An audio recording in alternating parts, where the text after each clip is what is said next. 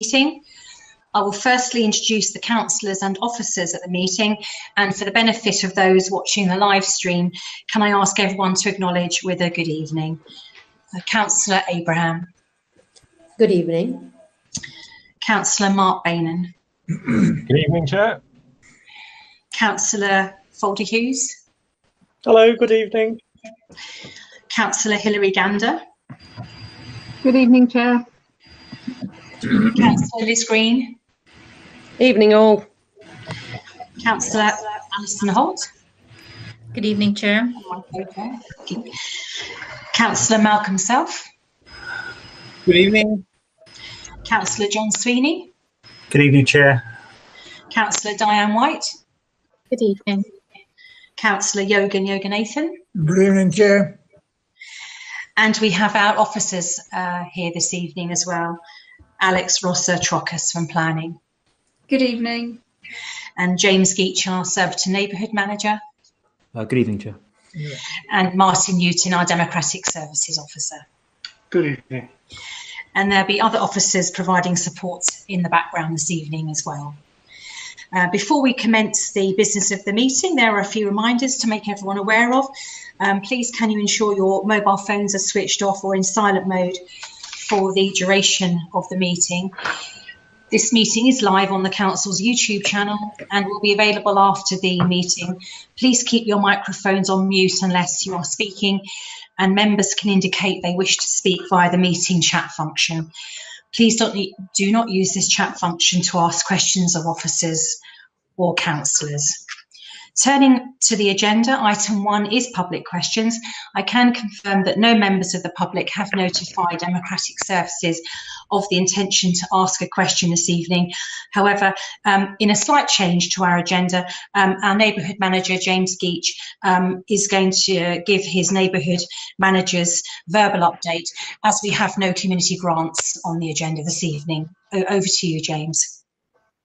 Uh, thank you very much, Chair. Just um, four brief points from me, if I may. Um, the first about Christmas decorations. Um, the festive lights agreed by the committee and its last meeting have now been installed and have been switched on for the first time this evening. Um, I'd also like to thank uh, Gardinia for donating the tree which was installed and decorated by Community Brain in St George's Church on Ewell Road earlier last week. Um, and the Community Brain also and a number of other volunteers for their help decorating Tolworth Broadway. Um, in terms of the community grants programme, uh, so just a reminder that funding is still available for community groups as part of this year's programme. And we have a number of applications due to come forward for the committee to consider in January. Um, information about the available grants and an online application form um, are both available on the council website, which is kingston.gov.uk by searching community grants. Um, just a quick update from our rangers. Um, our rangers have noted um, an increase in fly tipping since the start of the pandemic. Residents can really help our teams by reporting fly tipping on our website. There's a new tool, it's an interactive map, which can will let you know if a fly tip has already been reported, and if not, um, how to report it. Um, you can find the map also by visiting our website and by searching fly tipping. Um, and my last point, Chair, um, Friends of service Surbiton Station, um, we're very aware that a number of local residents are keen to support our local station and that they'd like to meet others who share that mutual interest. Um, in order to help bring these people together, we'll be launching an online portal on the council's website in the near future, which will allow residents to let us know if they'd like to help set up a new Friends of Surbiton Station group.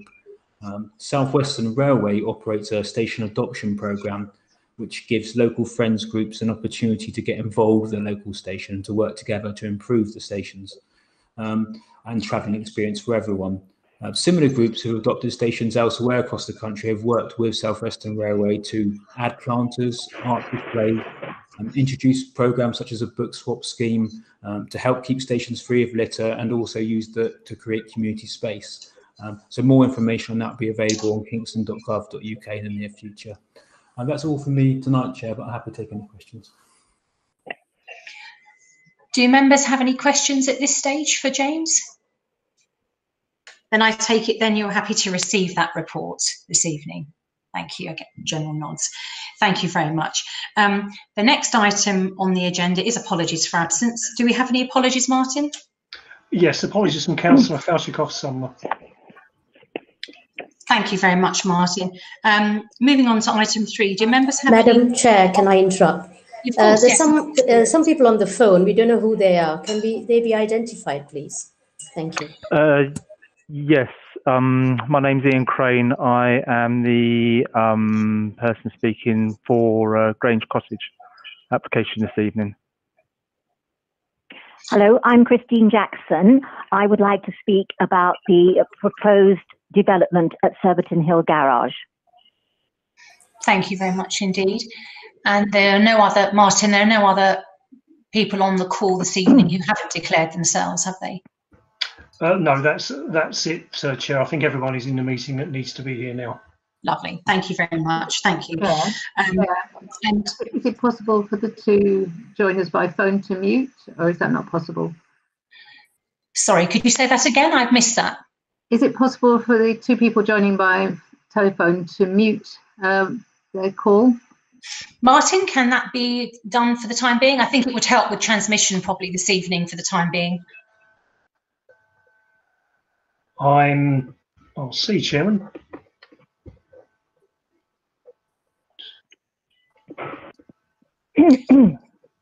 I think it might be easier just for the sound quality, really. That's that's right. Yeah. Thank you Yeah. very much indeed. Yeah. Thank you. Um, so I think Yogan, you had your hand up. Was there something you wanted to say at this stage? I think you were waving. No. Okay. Uh, so just moving on to item three, um, do members have any declarations of interest in, in items on the agenda? Please indicate using the chat function now and I'll call you to speak. I don't have anything at this stage. I take that as no. Okay, thank you. Um, on item four, um, are there any objections to approving the minutes from the 12th November meeting as accurate? Gen- general nod. Thank you. I take that as agreed and I'll sign them at a later date. The next item is petitions. I have not received notification of any petitions for submission, so there will be no speaking on this item this evening. We now move on to the planning applications. The report is at Appendix A. The first application we have before us is for development at Grange Cottage, Southborough Road, Surbiton. The recommendation on this application is to permit the application subject to the conditions and informatives set out in the report. I will formally move that motion from the chair at this point so that it can be voted on at the conclusion of the committee's discussions. Is that motion seconded? Thank you. I see Councillor Abraham, you have your hand up. Thank you very much for that. Um, now, Alex, if you can present this item, thank you very much. Thank you, Chair. Could you just confirm that you're able to see the first presentation slide? Yes, I, I can, yeah. Thank you. Um, as you rightly said, we begin this evening with the first application for consideration, which is Grange Cottage, Southborough Road, Surbiton, and that is for the demolition of the existing two-storey house and the erection of two Part 2 three-storey detached houses with associated landscaping, refuse and cycle parking facilities. If I could begin by showing you some contextual photographs, you can see the site here where my cursor is. It shows the surrounding prevailing pattern of development, which is characteristically of large plots within large generous gardens. And here is a bird's eye view showing the property and its rear garden. Here we have the site location plan with the site boundary outlined in red. As you can see, the existing property is sited forward of the prevailing front building line. And here are some photographs. This is of the front elevation looking southwest and its main entrance. Here is a photograph of the rear. Um, as you can see, it's a part uh, brick, part render construction with a number of pitched roofs at different levels and over the years has um, benefited from some contemporary additions such as this conservatory. Here's another view of the front and side elevation looking southwest with the entrance gate partially open. And here you can see the next door property, Cedar Lodge, where my cursor is looking southeast. Along Malcolm Drive looking northeast. And further along that same road. And here is a view from the opposite direction looking southwest, which shows the various residential architectural character and closer to the property. And here we have the existing site plan and the associated separation distances. As I said earlier, you can see that the front elevation of the existing property is very close to Southborough Road, only 0.7 metres away. And here we have some existing floor plans with the ground floor um, and as you can see, there's an existing garage and store in the rear garden. The first floor with the bedroom and bathroom accommodation, and up to the roof plan, where you can see there are a number of pitched roof forms and also flat roof forms to the front. Here we have some existing elevations as you can see, the maximum height of the existing dwelling is approximately 7.3 metres. This is the rear elevation. This is the elevation as you see from the street, although it is partially obscured by the brick boundary wall and each of the sides.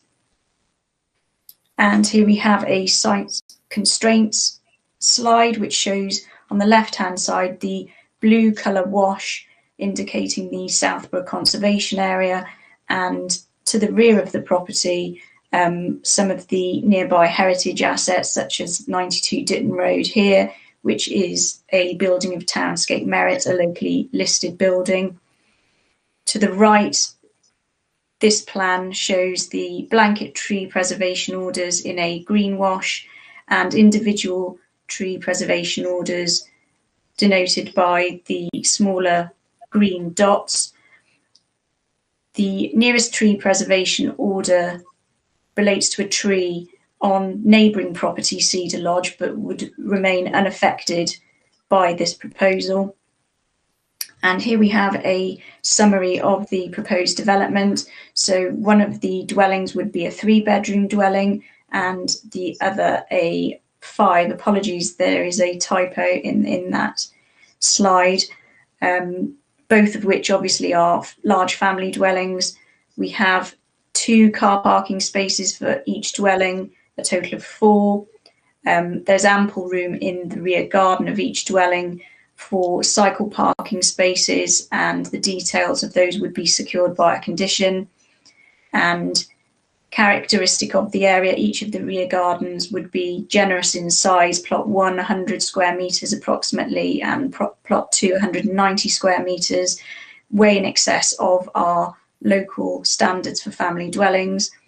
And as you can see, the density of the proposed development would fall under the density range indicated by the London plan. If I can begin now with the visuals of the proposed development, here we have a street scene of Southborough Road looking at the front elevation and you can see that the two proposed dwellings would be distinct from its neighbours due to its flat roof and angular formation. In terms of height, whilst it would be higher than um, the property to the right hand side, you can see that it wouldn't be quite as high as Cedar Lodge to the left. The accommodation would be arranged over three floors. And here we have a proposed site plan, plot one and plot two, and the relative separation distances from the rear boundary. And here you can see the generous rear gardens and that a greater setback from Southborough Road would be achieved than existing. And if I move on to the proposed floor plans, here we have ground floor plans of both plots, first floor, plans with the bedroom and bathroom accommodation and the second floor. Here on the roof, you can see the flat roof areas which would be um, finished in living room, sorry, living roof uh, natural species. And here we have some further elevations. This is the street elevation, plot one on the left, plot two on the right, again with the maximum heights and from the rear. Here you can see the elevations from the side and the dotted line denotes the existing mass of the cottage. In terms of materials, um, the proposed development would largely comprise brick, but does have large expanses of glazing, some of which would be translucent. It's clearly a contemporary design, um, which would be distinct from its neighbours, but is considered to be of superior quality and would both preserve and enhance the significance of the Southborough Conservation Area. And if I go finally to the recommendation, it's the officer's recommendation that planning permission should be granted subject to the conditions as set out in the office, officer's report, agenda papers and update papers. I should also draw um, members' attention to some late material that was provided today, um, which shows some updated plans correcting minor drafting errors that include the insertion of a bathroom door on plot two and a correction of the site boundary. Thank you, Chair. Thank you, Alex, for that. Um, we've got one registered objector for this application, uh, David Twait. Uh, welcome to the meeting. Thank you. Um, can you now address the, oh, there's a bit of echo, I'm wondering. Oh, thank you. Um, can you please now address the committee with your comments? You have five minutes to speak. We will let you know when you have one minute remaining and when your time is up. Okay.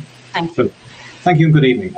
So this is a highly unusual planning application, I believe, for a conservation area, as it is proposed to demolish a late 19th century, we think around 1890 cottage, replace it with two ultra-modern buildings that are completely out of character with anything else in, in the conservation area, as we have heard. So I'm actually a neighbour to this application. I live in 9 Dunton Close, an immediate neighbour, and I've objected to this application along with many other local residents. We're fully aligned with the Southborough Residents Association and with the Surbiton Conservation Area Advisory Committee, who have also objected to this proposal. Our concerns, let me outline what our concerns are. We strongly believe these are actually material planning considerations, and they're as follows. Firstly, the road safety of Southborough Lane will be compromised. This, these properties aren't on Southborough Road, which is a wide road, they're on Southborough Lane, which is four metres wide only. And there is a, a vehicle barrier at the end of Southborough Lane. So vehicles have to go into into into the lane and and, and out again. These properties there is uh, there is no um, there's no turning and there's no parking other than the, the, two spaces that have been that have been mentioned. So if those spaces are taken, which for a large five-bedroom family house we assume they would be, visitors and or deliveries uh, would not be able to park or turn round, and so they'll have to reverse out of the lane. And it's nearly 100 metres, we think, back to back to Southborough Road. The lane is widely used by pedestrians and cyclists. There are no footpaths on it, and we're concerned about the safety of all users of this lane. Other, de other developments uh, on the lane did actually provide a wider area at the front, and this one has, to allow turning of, uh, delivery and other vehicles.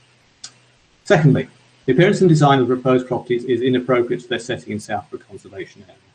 They've been described as modern properties. Um, they're three-storey flat roof structures, as we've seen. And they're a mixture of brickwork and there's some plastic cladding on there. As, you, as we all know, Southborough is, is, is largely traditional red brick houses in large blocks. Properties are also tall and narrow, again, not in keeping with the surrounding areas. It's all very well saying the height is about the same as other buildings, but the top floor of these properties are rooms with large picture windows as opposed to pitched roofs. And that's what we, we're used to seeing in this area. We believe that these do not preserve or enhance the character of the conservation area. They're not at all characteristic of the con conservation area. And, and being sympathetic with the conservation area is part, I think, of all our policies uh, within Kingston and, and the, the relevant planning acts. Thirdly, the scale and dominance of the development is not consistent with Southborough. So I've seen the I've seen the numbers that have been been proposed, but these uh, in terms of Southborough, uh, a typical plot size is around 1,400 metres squared. Corkran Road, and I, I, compliment the committee here on, striking I think a good balance on Corkran Road, 700 metres squared per uh, per plot. These are um, two, 291 and 380. So these plots are about half of everything else. And, and the, the, the six to 700 metres uh, plot size, I've got that in Nine Dunton Close, Manara Cottage has got that, and Cedar Lodge have got plots of that size. So these plots are significantly denser than anything else around them, and certainly significantly denser than anything's been approved in South. They're also um, they're also much closer to the existing and neighbouring properties than the existing house. The existing house, where it approaches the other properties, is single story. These are a three-story uh, wall. So within one metre of my boundary fence on Nine Dunton Close, I shall have a three-metre wall, which will actually overlook with, with picture windows an area that we sit in, uh, which is which is which is our courtyard garden. So it is certainly going to dominate us. Um, and I think also squeezing two properties into this space is all very well talking about outstanding architectural merit. These properties are squeezed in. They look squeezed in, and I, I don't believe they can be considered like that. Privacy is going to be an issue to us because of the height and having not just the roof at, at uh, the high level, but also uh, windows at that level. We're, we're felling mature trees. Um, there's two mature trees coming down. One minute. I'm particularly concerned about the demolition of a historic building replaced with modern buildings and the precedence that sets in a conservation area. We understand that the existing property is in need of renovation, extension, modernisation, and we would have no objection to this as we believe it the right approach for this site, which would preserve and could even enhance the local area. We appreciate the pressure on, on the committee and everyone to develop more homes. The development, we believe, needs to be sympathetic to locality in general, planners, including this committee, have said they've struck a good balance between these requirements for Southborough. This is, however, is a very different planning application which pushes the boundaries well beyond what has been approved in the past and would set a number of unwelcome precedents. Road safety, plot size, character buildings, demolition of the historic house being the main ones. We believe the proposal to squeeze two detached houses on this plot is motivated by the desire to extract as much value as possible from the plot without proper consideration for the appropriateness of the plans. Development should not be about maximising financial return, and we believe the planning process is in place to provide the checks and balances to properly consider input from the community, which I which I am giving you. Okay, and this this input I'm giving you is, is, is agreed with, as I said, with the local committee. So we humbly request that this current planning application is rejected by the committee, and we'd be happy to provide input to any future revision of the plans to find a development scheme that could be acceptable to all parties. Ladies and gentlemen, thank you very much. Thank you very much, Mr. Twade. Um, on behalf of the applicant, we will now hear from Ian Crane. Thank you very much. Welcome to the meeting. Please can you now address the committee with your comments? You have five minutes to speak and we will let you know when you have one minute remaining and when your time is up. Thank you.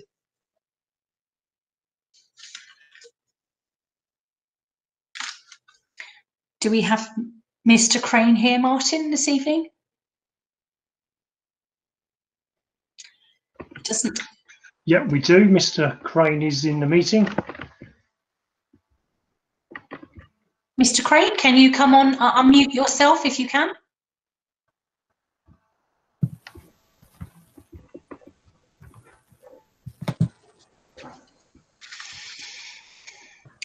You seem to be having an issue with getting Mr. Crane to come on this evening. If you're here, Mr. Crane, can you unmute yourself? so we can, so you can address the committee? Sorry, Chair. If, if he's um, one of the people on the phone, then I think we would have to unmute him. Is that right? Because I think we, um, Martin, yeah, I think I think we muted them because they're on the phone, so we have to unmute them. I think if there's one of the two on the phone. Can you sort that out for us, Martin, please? I can't see a way to unmute someone else. That's the message I'm getting when I'm clicking on the icons. Um, if you can hear us, Mr. Crane, uh, may I suggest you leave the meeting and rejoin the meeting, please? So then we can probably hear you because I think it, then there's a technical issue here. So if you can hear me, if you can leave the meeting and rejoin.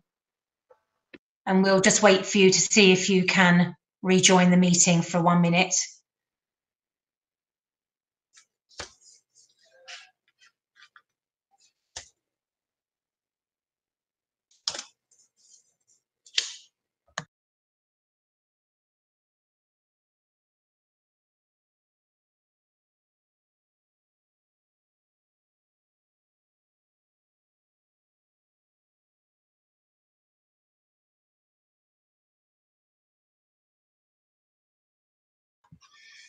I'm just going to wait a few more minutes because I'm conscious that he may, Mr. Crane may well be having technical issues, but he hasn't notified our Democratic Services Officer.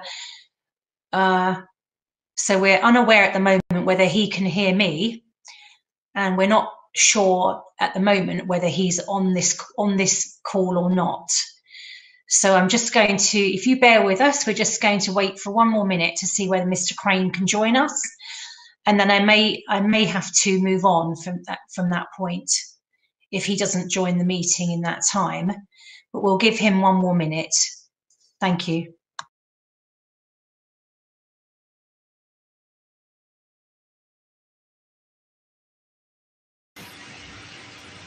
Chair, I think Councillor Holt wants to speak. Please go ahead, um, Councillor Holt. There looks like there's two phone people here and look like one disappeared and then came back again. So is that not one of the ones? That, uh, is that not the person?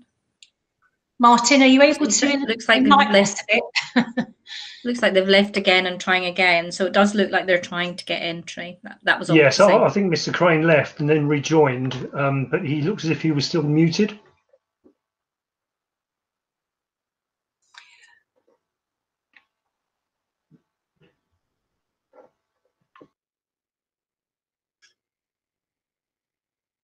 I think, Martin, we're going to have to make a decision about timing here. How much time has elapsed?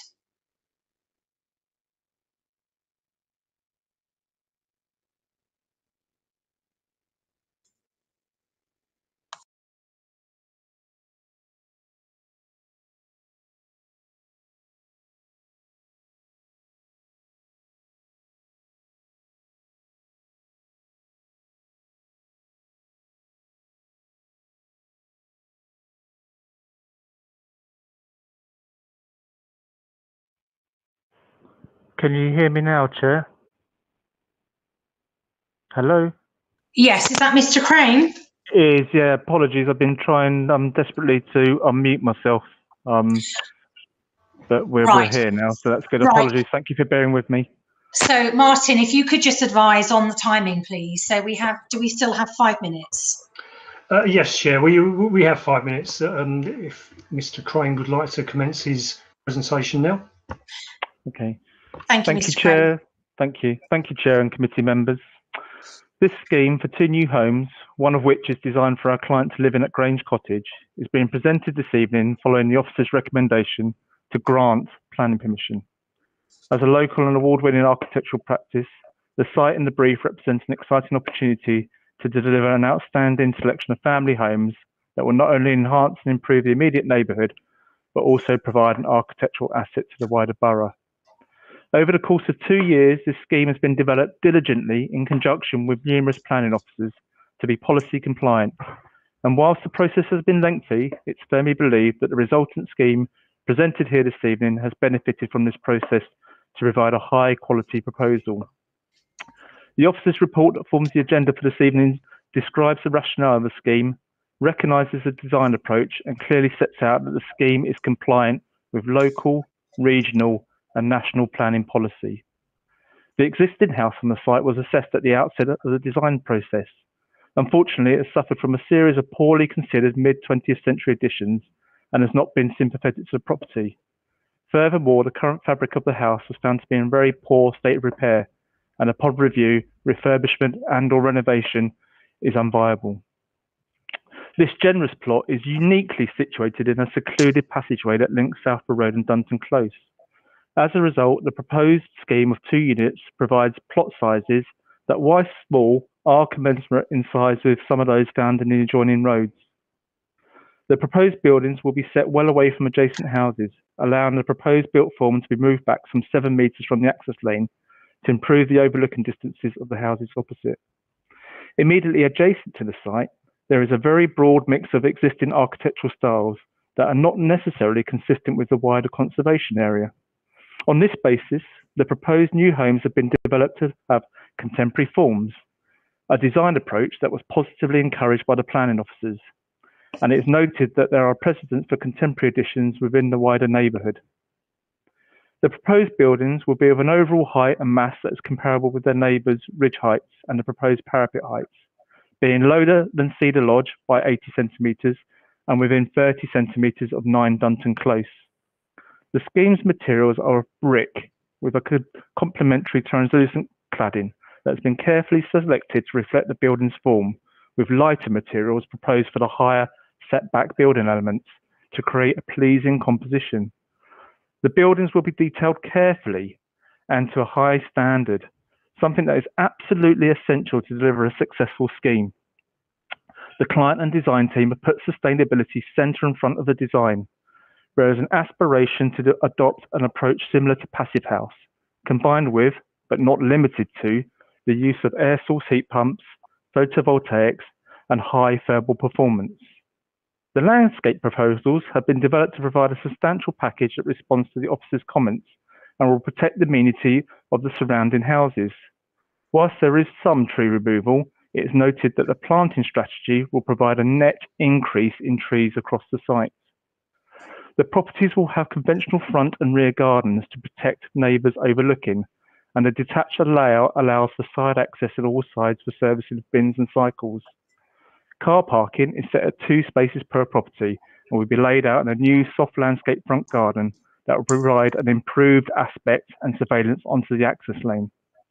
So in summary, the proposals have been developed to meet the necessary requirements set out in the local, regional and national planning policy and we draw particular attention to the NPPF that states planning policies and decisions should not attempt to impose architectural styles or particular tastes they should not stifle innovation, originality, or initiative through unsubstantiated requirements to conform with certain development forms or styles. So, to conclude, our client is looking to realise a long held dream to build a highly sustainable and architecturally worthwhile house for their own occupation.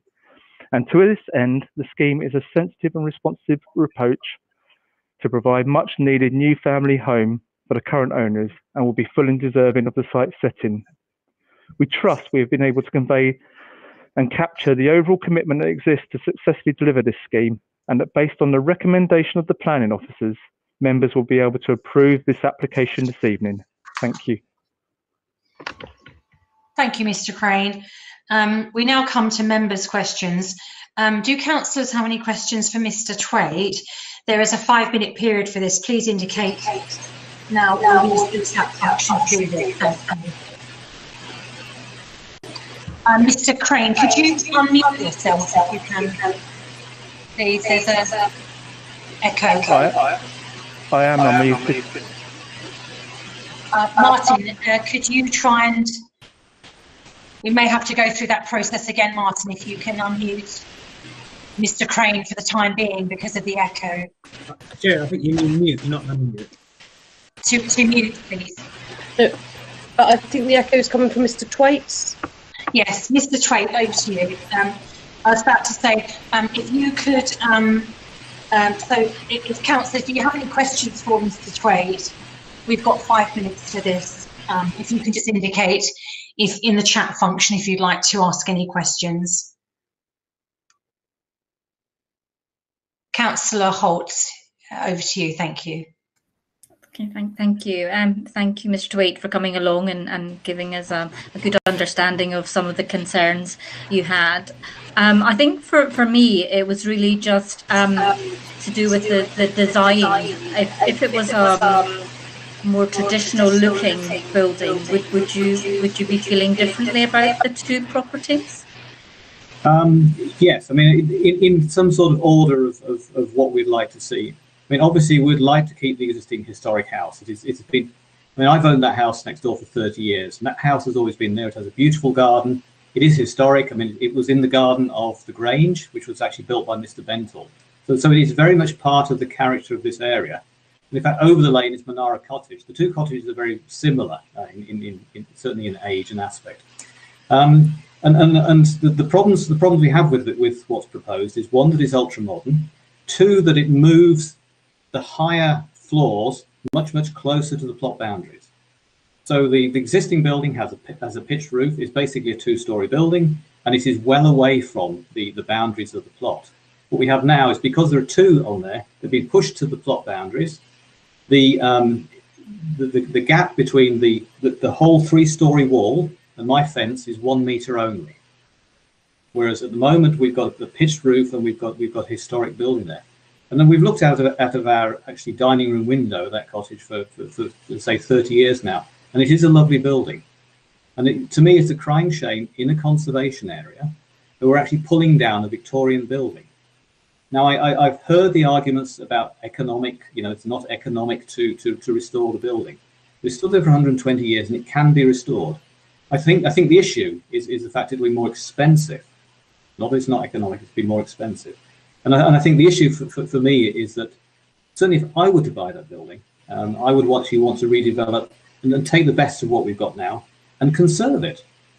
So, so I think putting those those two properties, those two ultra modern properties, in the middle of Southborough is just inappropriate.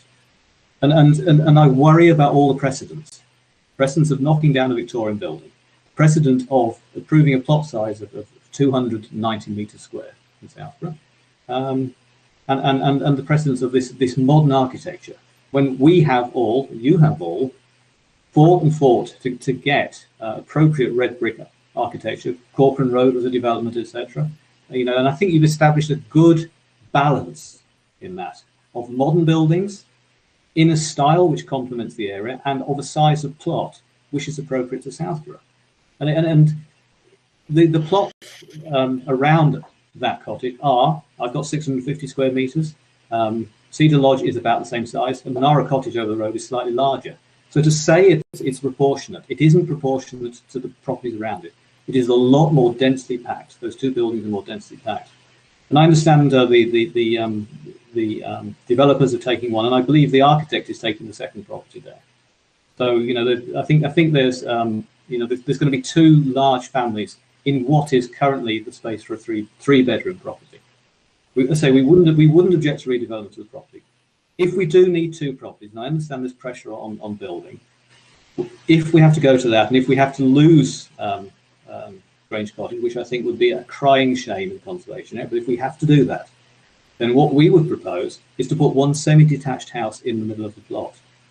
Now, there are semi-detached houses. Um, I, am familiar with some in Putney, which looked on the outside like a, a normal uh, modern detached house. But by, by clever manipulation of those, you can get two properties on there that look in, would look in keeping with Southborough, like one large house, but it's actually two. And they have one front door and one side door, and, and things like this. I'm sure the architects are familiar with this. To me, that would be much, much more appropriate than this modern box. This is going to st stick out like a sore thumb. Now, whether you think that's good or bad, I guess, is, is probably a matter of taste, but it isn't Southborough. We've got traditional red brick houses in Southborough all the way through, and these will really, really stand out. And, and all the neighbours, I mean, I've, I've talked to all the neighbours, we all think they're going to be an eyesore to us. Um, and, and we just, we just, you know, we live in Southborough, we live in a conservation area because we believe in the integrity of the area we live in. And this is, this is a real affront to us. I say both in terms of the scale of development and the style of development. And, and can, I just finally say, um, to me, this, this whole planning process needs to be between the planners and the developers and the local community. And thank you so much for listening to me. I do appreciate that tonight. But this is the first time we've had the opportunity to um, to really express our views. I think it makes the planning department we've we've rejected to, to the planning commission.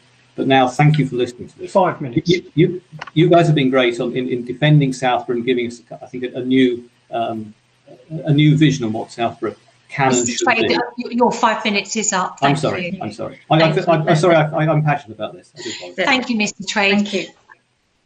Um, do councillors have any questions for Mr. Crane? Um, again, there's a five minute period.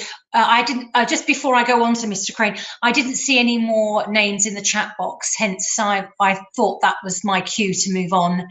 So uh, unless anybody's got any more questions for Mr. Twait, but I think that time's up anyway. So um, moving on, Mr. Crane, um, can you, um, if there are any questions for Mr. Crane, again, I haven't got any names in the chat box so on that basis, just waiting, we have one, uh, Councillor Self and uh, Councillor Gander. Uh, now, Mr. Crane, can you unmute yourself? Uh, Chair, Yeah. Councillor Sweeney has suggested in the chat that on a phone you press star six to unmute yourself. So I don't know if that would work for Mr. Yeah, Crane. If Mr. Mr. Crane, if you could try to unmute yourself by doing star six, then then I can go to the members who want to ask you the questions. Can you hear me, Chair? I can. Well, welcome back. Excellent. Thank you. Well done. We got the. um, so, Councillor Self, first of all, thank you. Thank you very much. Question on- on sustainability. You said in your uh, um, presentation you had aspirations to achieve near to passive house, which would, Mhm. if it got to passive house, would be brilliant. Um, all I can see in the report, and this is I'm just uh, is is condition nine, which refers to at least a 19% reduction compared to 2013 Part L, which is of course nowhere near passive house um, um, um, um, energy efficiency.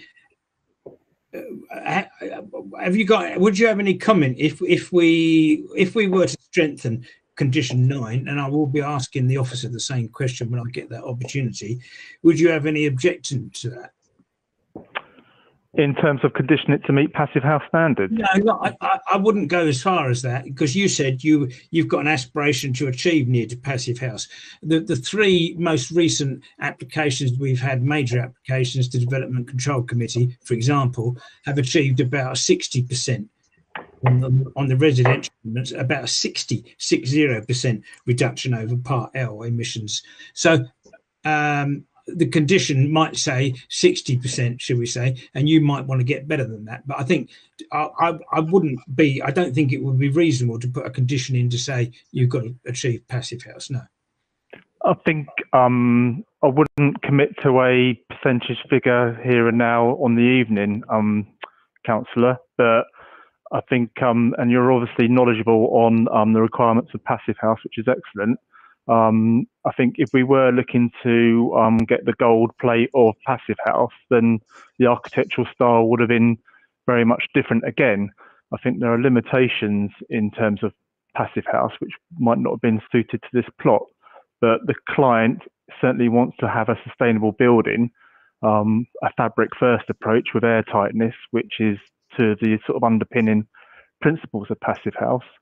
So I think probably in summary, we would welcome a, um, a condition that set a higher standard than that shown in the sustainability report with the um, application, but I wouldn't be able to commit to the percentage figure this evening.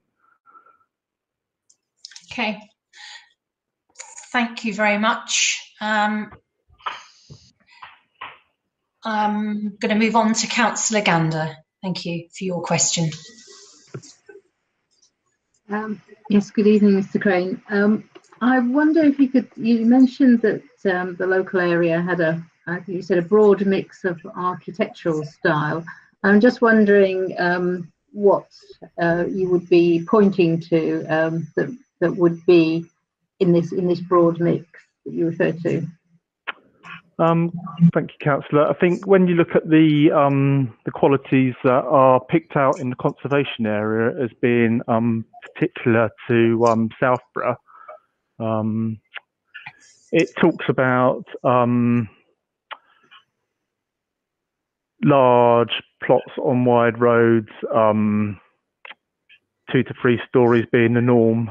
Um, I haven't got the word in right in front of me, but I think what we recognise in our assessment of doing the walk around the conservation area is that when you come to this lane on uh, the offshoot from Southborough Road and in Dunton Close, um, the architectural style does change. It becomes um, something which is um, more recent, so probably of 1970s and 1980s provenance, and um, the style is very different from what you find on some of the grander roads like Langley Avenue and Ditton Road, where you've got big substantial plots.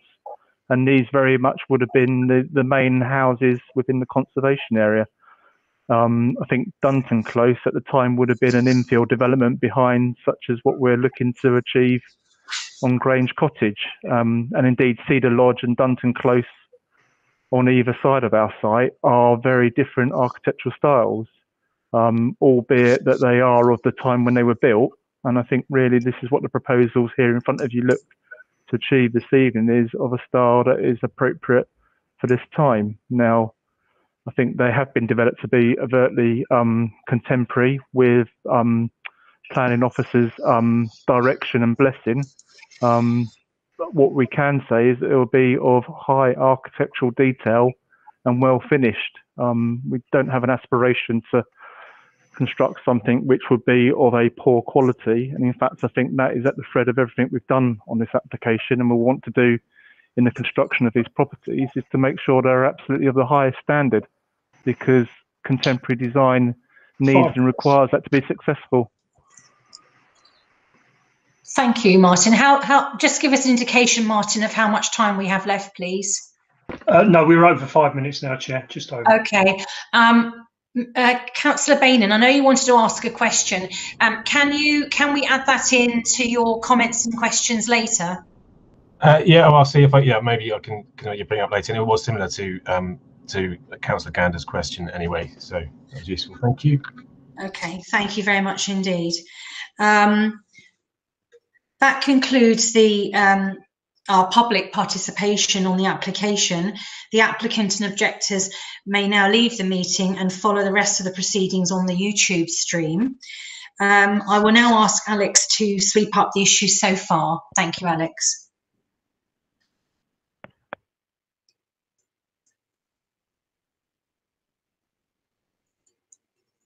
Thank you, Chair.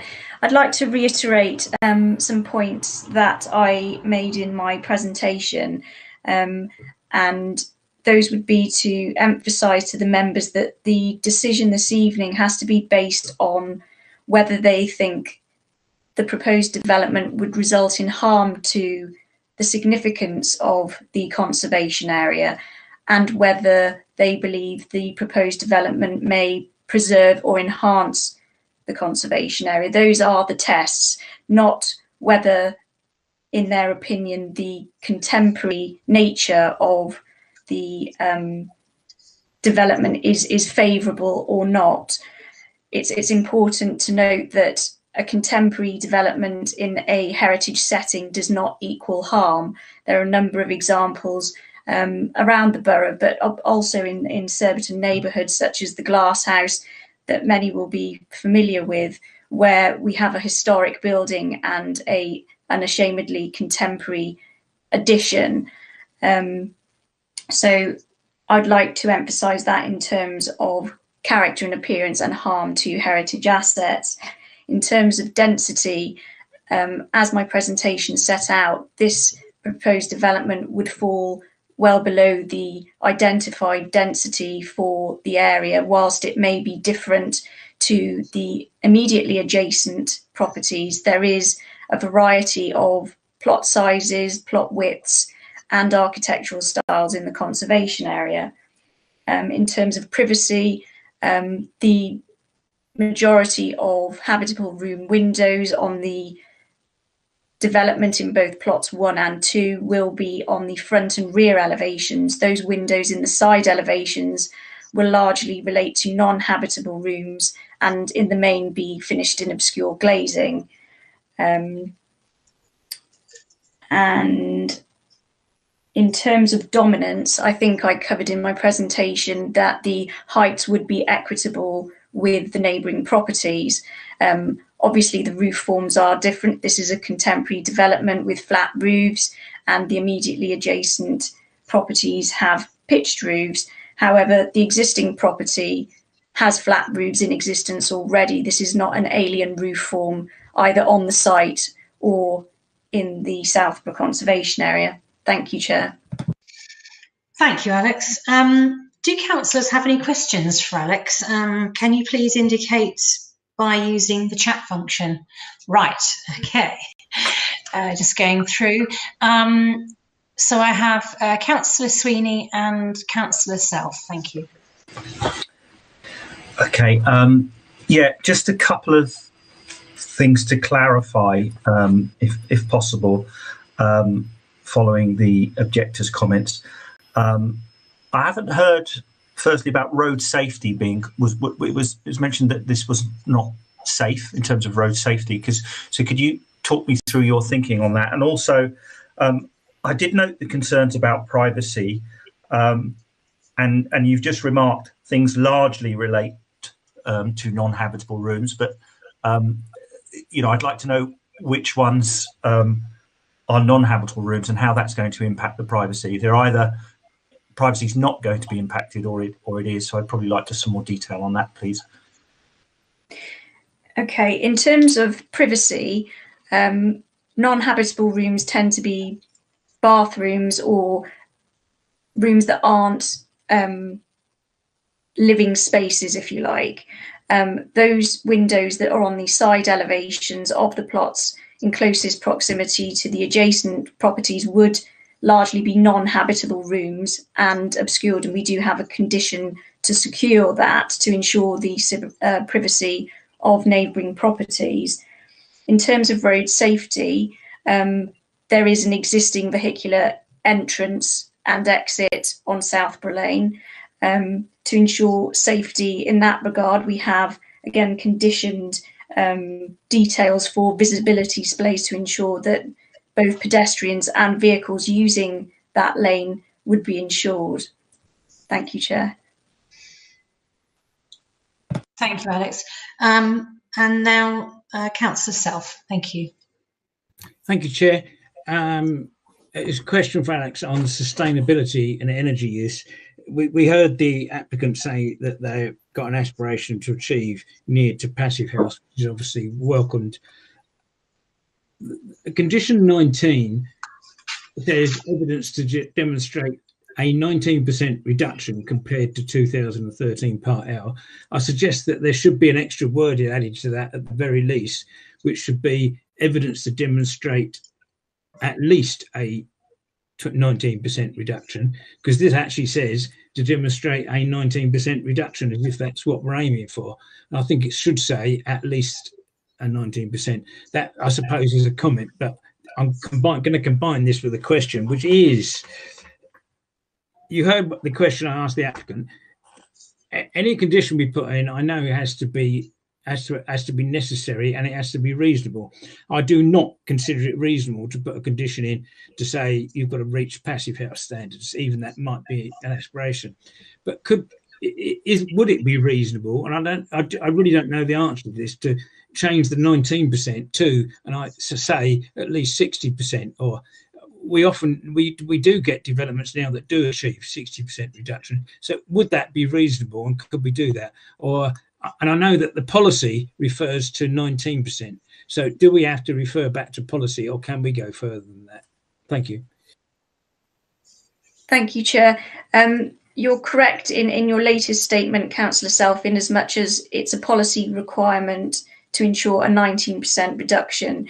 We couldn't insist on anything greater for a minor development such as this.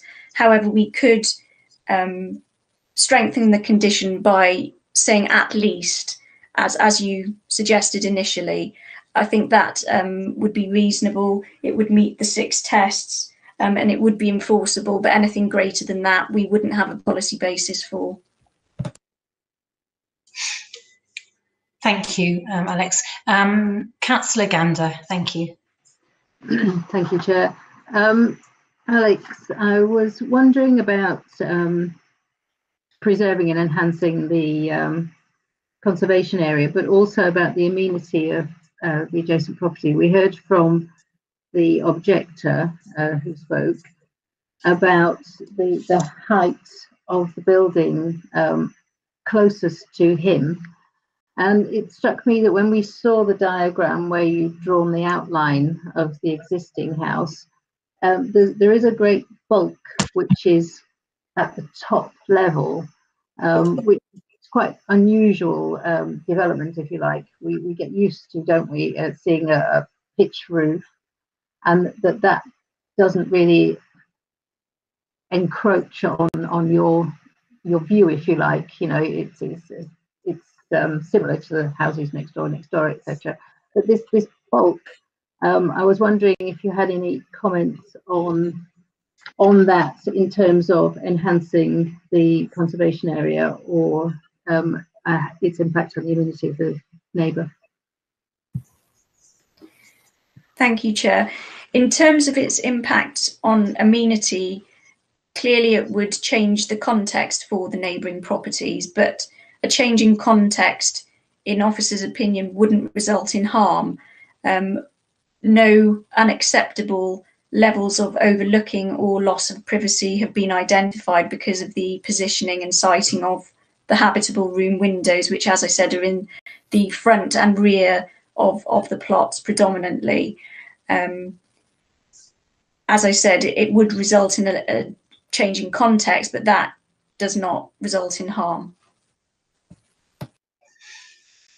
Thank you, Alex. and in Um, relation to the, um, specifically to the conservation area, in, how it changes the context? It would consider to both preserve and enhance the significance of the conservation area because it is a high quality design. Um, if I refer back to my earlier comments, which emphasize the fact that it is unashamedly contemporary, it does have flat roofs, whilst the immediately adjacent properties have pitched roofs, but that does not mean it is harmful by definition.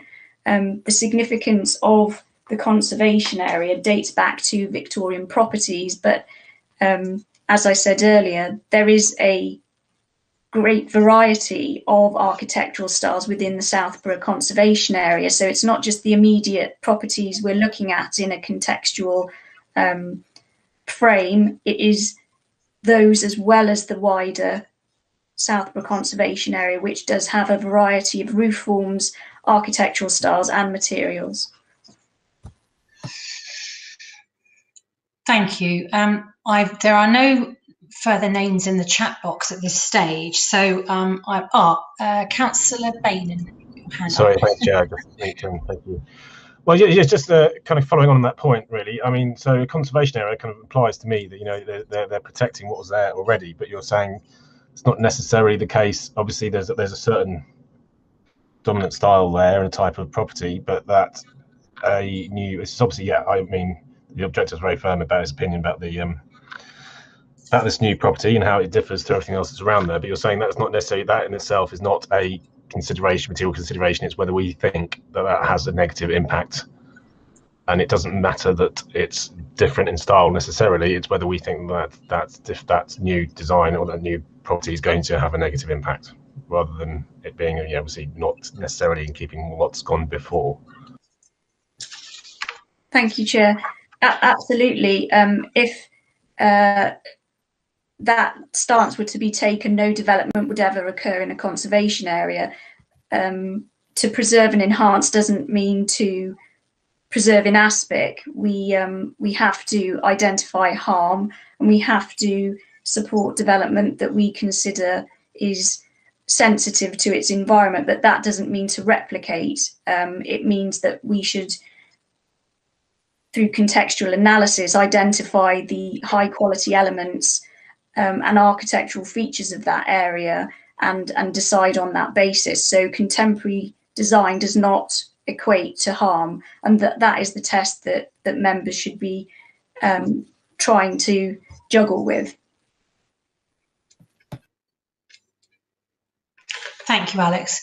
Um, I don't see any more names in the chat box, so um, I'm going to now move on to the committee's comments and debate on the item. Um, do any members um, of the committee have any comments on this application? Please, can you indicate now by using the chat function?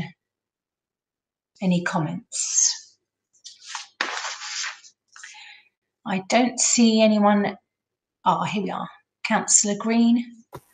Councillor I was kind of hoping others might um, end up being in before me uh, for their comments. Um, I, I- think the buildings themselves, um, I know it's not about the design. I actually think it's a fantastic design. I think it's in the wrong place. It, it's quite an Art Deco look to it. Uh, I live in Berrylands. We've got quite a few wonderful Art Deco buildings, and I think that you know the two buildings proposed would actually fit really well within the Berrylands environment. Um, do I think that the look of them will cause harm. And it's a very difficult one. I, I do think they cause harm to the conservation area um, because I think that in Southborough, I'm not worried about the plot size, I'm not worried about the road safety, I should say. I think in Southborough, that predominant style within that locality is very strong. And to lose that style throughout, um, potentially, would would cause issues. Um, you mentioned the glass house by St Andrew's Church as modern uh, versus um, historic. It's actually one of my all-time favourite uh, buildings, but it's very, very subordinate to the main church building, which is a huge church, and the glass house is a small room um, off to one side. So, whilst it is extremely modern, and I, I think it works really, really well, I think there is a difference between that. If they tried to replicate the style, that would actually look out of place. So, by going ultra modern, they it, it worked. I actually think they could design a style as we've got. We gave planning permission a couple of years ago, something like that, for a couple of other buildings down the same patch. Walked down there yesterday, and you know, okay, they look newer because they're newer bricks, but in another five, ten years' time, they'll look the same. I actually think if the building can't be repaired economically, something like that, um, creating two houses if, if need be, um, would work really well on that site. I just, uh, I do think this causes harm, but I'm probably not wording it very well. So I'm hoping somebody else will come in. Um, but it's not because I dislike the buildings, it's just the location of them. That would be my view. Thank you. Um, over to you, um, Councillor Self. Thank you, Chair. Um, I, I, concur with what Councillor Green has just said, so I won't repeat, repeat all that she said, but I will. I am going to go a little bit further. Um, I listened carefully to both to the objector and the applicant. Uh, the objector spoke of uh, highways issues. I, I'm afraid I don't agree there. I think there would be no reason to refuse this application on highways grounds or highway safety. I think the the the issue and really the only issue that I've got to do I would accept the mass the scale and basically everything else about the development or the proposal but it is the design. So this comes down to design, and design is mentioned in the NPPF as being very key and very important. Um, I would go further in that I think that there is significant harm. This would cause significant harm to the characteristics of the conservation area. Why? I'm looking at this is the uh, conservation area um, assessment 2009. It, it, was brought in, I think, in the conservation area started in 78, but it's been revised since then. So this is a fairly recent study. And this is on architectural character. Um, there is a mix in individual architectural design. That's what I, I, so I agree with that, and that's what the study says. There is a mix in architectural design, but design has been primarily influenced by the Victorian Gothic, moving towards the aesthetic, Queen Anne, and arts and craft movement by the late 19th century. The architecture was more decorative and harked back to a more rural way of life. Common features include, and I'm going to read them out. There's, there's a few, but they, don't take long. Asymmetry, accentuated gables, prominent and decorative chimney stacks, exposed brick and beams to explain construction, woodwork framing and porches, painted woodwork, tiling, painted rough cast render, pebble dash. Now, this is not me, this is not my assessment. This is an assessment that's uh, um, that's been through the, the process, as it were. So I, I really like Liz. I, I actually really do like. I think these are really good buildings, and I would like and I would I think quite happily live in one, but they are out of context. They're they're in the wrong place.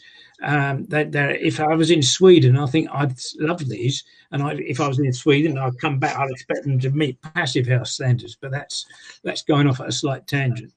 I, so it's not a case. I'm not saying, oh, these buildings they're ugly, they're awful, they're bad design per se, but they do not fit the characteristics of the conservation area. And if we ignore the conservation area and its characteristics, then if we just ignore that and say, well, that doesn't matter, then I'd say, well, let's not bother with conservation areas because why have we got conservation areas otherwise? So I would I would argue that this this causes significant harm to the characteristics of the conservation area. As a direct consequence of that, tilted balance disengages. So I would argue that tilted balance is disengaged because of the significant harm that this causes to the conservation area, the heritage assets, in other words. Um, if tilted balance is disengaged, that puts a that brings our scales much more. In, I'm afraid it takes a lot of weight off in favour of um, approving this application and brings the scales back to the um, refusing, which is where I'm sort of moving towards. Um, um, yeah, th thank you, thank you, Chair. Thank you, Malcolm. Um, and now, uh, Councillor Gander, your comments. Thank you. Thank you, Chair. Um, yeah, I I think the proportion of um, proportions of house to garden, etc., the fact that it's set back, um, all works pretty well in that particular lane. Um, I find the design exciting, um, and, and, I think many of us on the committee uh, don't really like the pastiche, um, you know, attempts at uh, copying that that um, sometimes are put forward. Um, but I I think Liz saying it's in the wrong place sums it up for me. Um, this Malcolm used the word design. I was going to say style of the property, and for me, it's having the the kind of this massive building higher up in your line of sight. Um, you know, with the that ordinary houses around it is just too stark a contrast, um, and would cause harm to the conservation area. I think it might well be something that I would go out of my way to walk past because I would want to have a look at it. Um, but it wouldn't be uh, something that I would necessarily want to live next to if I had chosen to live in a conservation area. Um, so I I wouldn't be voting for this application.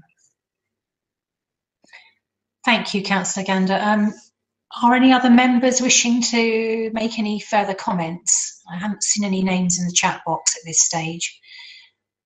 Okay, uh, Councillor Holt. Okay. Um, so um, I think I probably um, again don't want to repeat too much, but um, for for me, I I think um, I do agree that I, I, do quite like the style.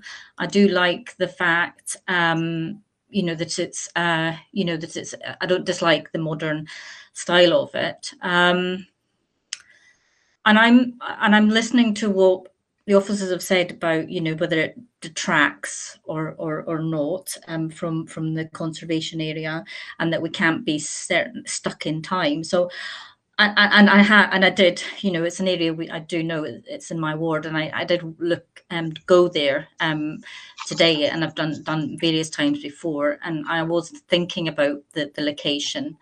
Um and because it's high quality and they've given a lot of thought to it that's why I'm actually finding this really difficult because I I, I think it is an, a nice design. They've thought about things. Um and and I can understand why, um, you know, that uh, the other side of that is that, um, you know, it's it's too modern and it's not in keeping. Um, I know there was local residents were, you know, perhaps were not so happy about previous applications that were actually in keeping because of of of you know some some of the considerations that we've been looking at this evening. So I am definitely um, struggling with this, um, and it is really over whether I think it's causing causing harm. Um, if it is a high quality um, building that we're looking at, and I'm trying to sort of think of other areas, conservation areas, where you might actually have some quite modern things and quite contemporary things. But then there's obviously in the Southborough area there were some things that were probably more contemporary for their time and weren't quite as uh, in in keeping. Um, and, and are, are there as well. So so things contemporary obviously does move on. So I'm I'm definitely um, uh, struggling with this one at, at the moment. Um, and so so that's that's my comment. As obviously, and I'll, I'll leave it at that. Thank you, Councillor Holt. Um, are there any other comments at this stage? I think that's all comments for the time being.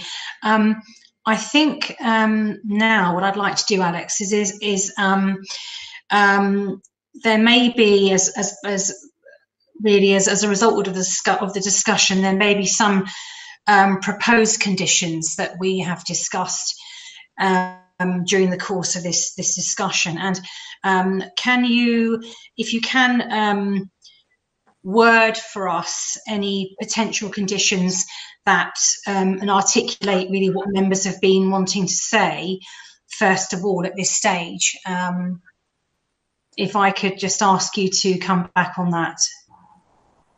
Thank you, Chair. The only condition I recall um, having suggested amendments to was the sustainability um, condition, um, which we agreed would be reasonable to strengthen and add the wording at least. So any proposed development would achieve at least a 19% reduction. Um, I don't recall any proposed amendments to others. Yeah. I think I probably concur with that. I didn't I didn't hear any other conditions being being discussed. Um, so if members um, are minded, um, I think if we can now move um, to the vote on the condition, um, that was the 19%. I think it was at least, I believe. Um, but if if if we're minded to go on to the vote now on the condition. Um, there were Yeah. other comments made, but um, I think Yeah. Councillor Self, if you want to just mention. Along. The, the, the amendment I changed is very small, and we heard what the applicant said, and it, it, it's simply to say to achieve at least 19% reduction CO2 reduction compared to 2013 Part L, instead of achieve that. Uh, it, could, could we not? Could, could it's up to you. It's not for me. Could you not just? I, I, I imagine everybody would be in agreement with that. It's a very minor change. Mm. Yeah, I agree. Um, so um, I think Alex, if if on that basis, then um, what I'd like to do then is maybe uh, move on. If we can factor that in through the condition, we don't need to go to a vote on it. So I think that's what I'm hearing is we don't need to go to a vote on it. So um, I think what I'm suggesting we do now is actually go for a vote to the substantive motion for this application. So if members are all happy to go forward on that basis. Um, so um, Martin, if uh, if I hand over to you for this phase. Thanks, Chair. So the, the vote before uh, the the uh, committee is to approve um, the development for Grange Cottage, subject to the conditions set out in the officer's report, and with that amendment to condition 19. So I'll call members individually, and if you could say for, against, or abstaining. Um, Councillor Abraham, Abstain.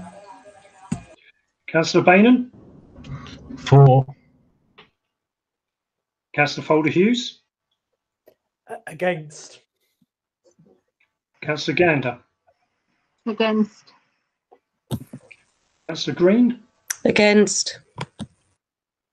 Councillor Holt, Against. Councillor Sharper, Against. Councillor Self, Against. Councillor Sweeney, Against. Councillor White, Against. Councillor Yoganathan. Against.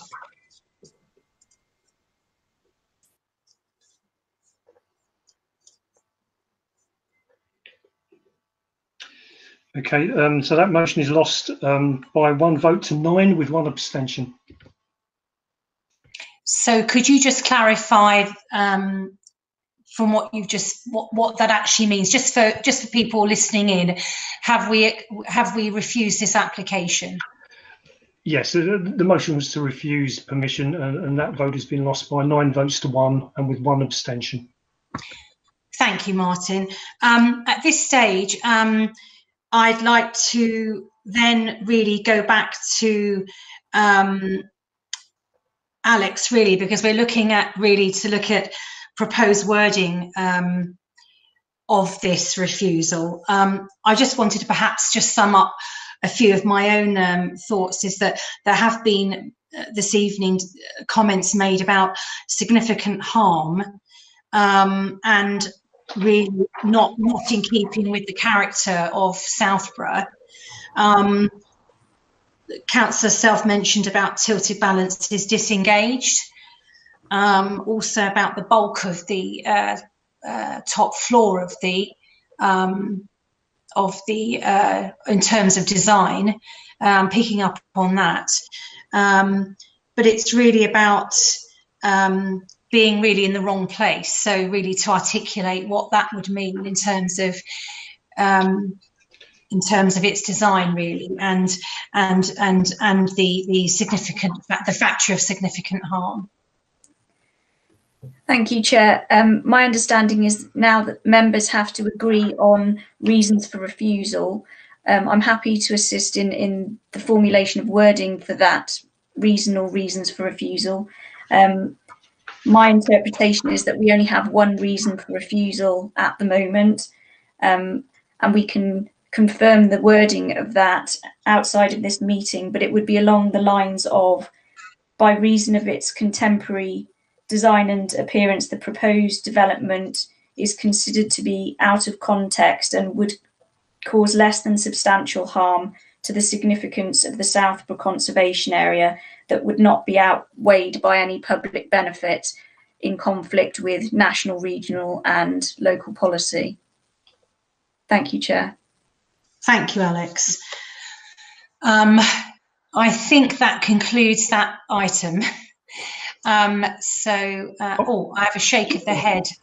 Chair, Oh, Chair I'll, I'll need to take a vote on that. Oh, I do apologise.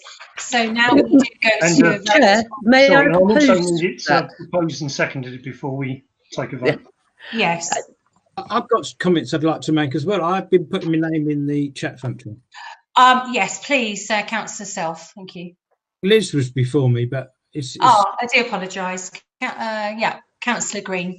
Sorry, Chair. I was just going to say that um, I'd be very happy to propose uh, the refusal of the permission on the basis uh, that Alex has just laid out with her wording. Okay, thank you very much. And um, Councillor Self. Thank you, Chair. I- I'd like to question the re- the, the wording of the reason. Um, it is it, it, the, the suggestion we got in front of us is that by the, the design, because of its contemporary nature, would be contrary to the characteristics of the conservation area. I'm, I'm, I've, I didn't write down all that you said, Alex. So I'm not. I'm not. Mine have it word for word, and would cause less than significant harm.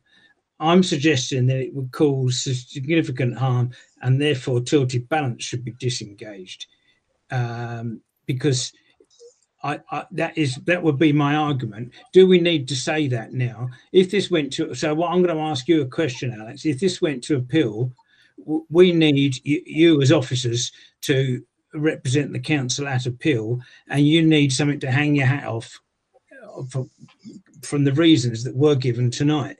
So if we just went with the reason that you're giving, that you've suggested, that, that wording, if it went to appeal, could you, at that appeal, bring in the fact that tilted balance should be disengaged because of the harm to a heritage asset, in this case, the conservation area? Thank you, Chair. Um, I think it's important to make the distinction between um, significant and the levels of harm um, in the terminology of national policy we have to use and whether we need to specify um, that the tilted balance is disengaged.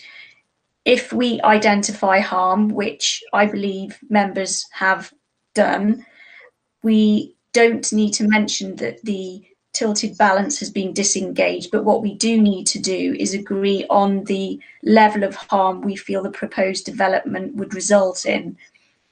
Less than substantial does not mean insignificant. Um, to say substantial harm is an incredibly high bar to achieve in heritage terms and, and normally means total loss of the significance of the entire heritage asset, which in this context would mean the loss of the significance of the entire Southborough conservation area. I don't think that would be justified in this case. Um, and to say less than substantial harm, in my opinion, would be strong enough not only to articulate um, the harm that members feel the proposed development would have, but would be strong enough to defend at a subsequent appeal if that were necessary. Can I just come back on that, Chair? Yes, you can. Mm. Thank you, thank you, Chair. So, can you? I've, I've got that, Alex, and I agree with what you say about th- this. Absolutely, would not destroy all the characteristics of the whole of the, the conservation area quite clearly. So, your wording less than substantial. I'm sure in planning terms, I'm quite.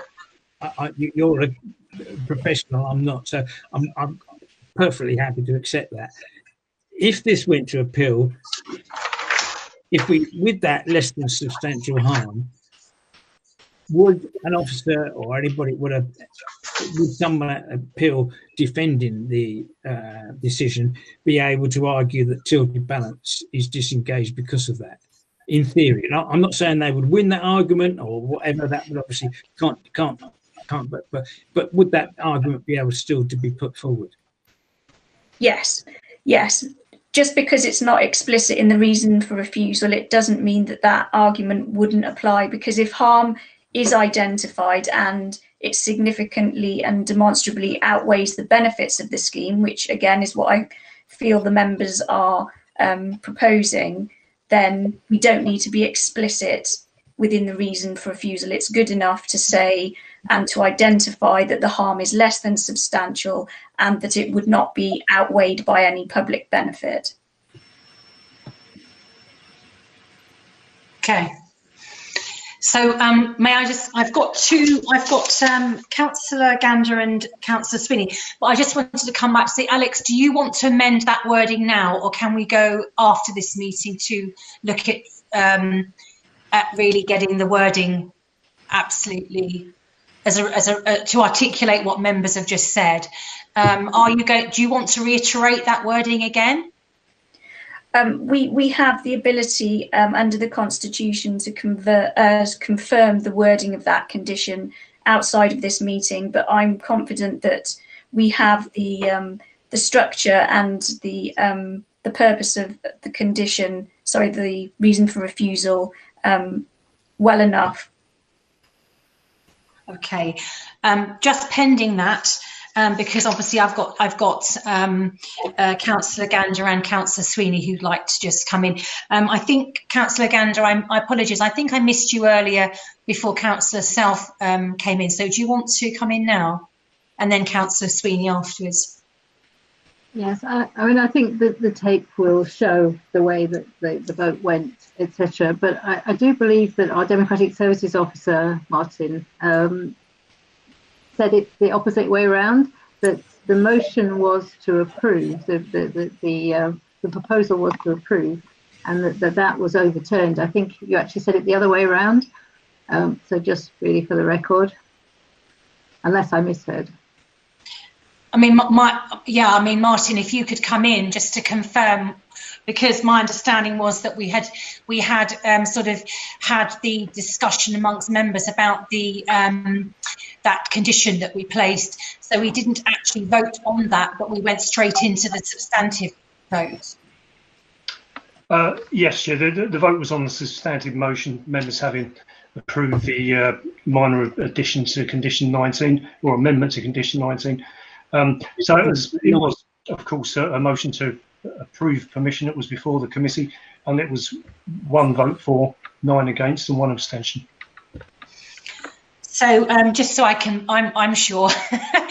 um, so um, at this stage, um, there are no further votes that will take place for this application. Is that correct? No, we, we, we need to take a vote on the refusal motion. Fine. Okay. So um, if uh, I have Councillor Green in the chat box, did you want to make Uh, a no, comment? just to say that I have um, proposed a motion to refuse this. I believe I need a seconder, uh, and then we can go to the vote on that. Is, is what I understand we are, Chair. Yeah. So if I could, if I could have a seconder, I'm happy to second that. Thank you. thank you, Councillor Self. So Martin, if you could conduct the vote, please. Thank you, Chair. So the motion now before the committee is to refuse permission for the Grange Cottage development on the grounds um, that were indicated by the planning officer. If I call you individually and if you can say if you are, are for uh, that reason for refusal, against or abstaining.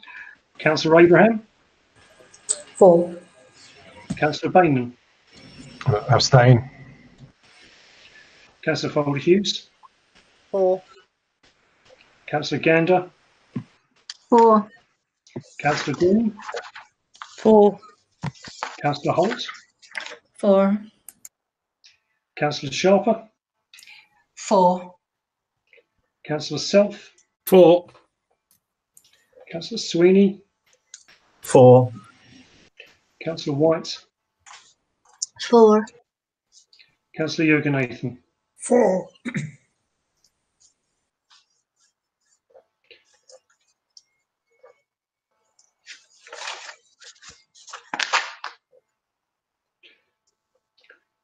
That's 10 in favour, one abstention. So the motion to refuse planning permission is carried. Thank you, Martin. Um, we now come on to the second planning uh, application, which is for development at Surbiton Hill Garage, the Avenue Surbiton. The recommendation um, on this application is to permit the application subject to the conditions and informative set out in the report. I will formally move that motion from the chair at this point so that it can be voted on at the conclusion of the committee's discussions. Is that motion seconded? Thank you, Councillor Holt. um, so, um, Alex, if you can um, present this item now, thank you.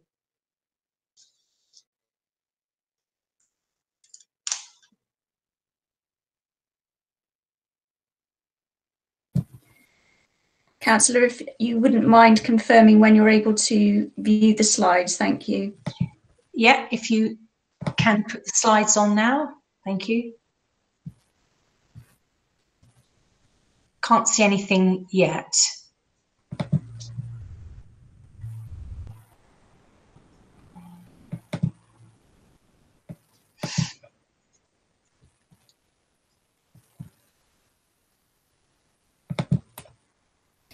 Apologies, Chair, I'm having some technical issues with my Wi-Fi. If you could just give me one minute. Of course, yeah, thank you.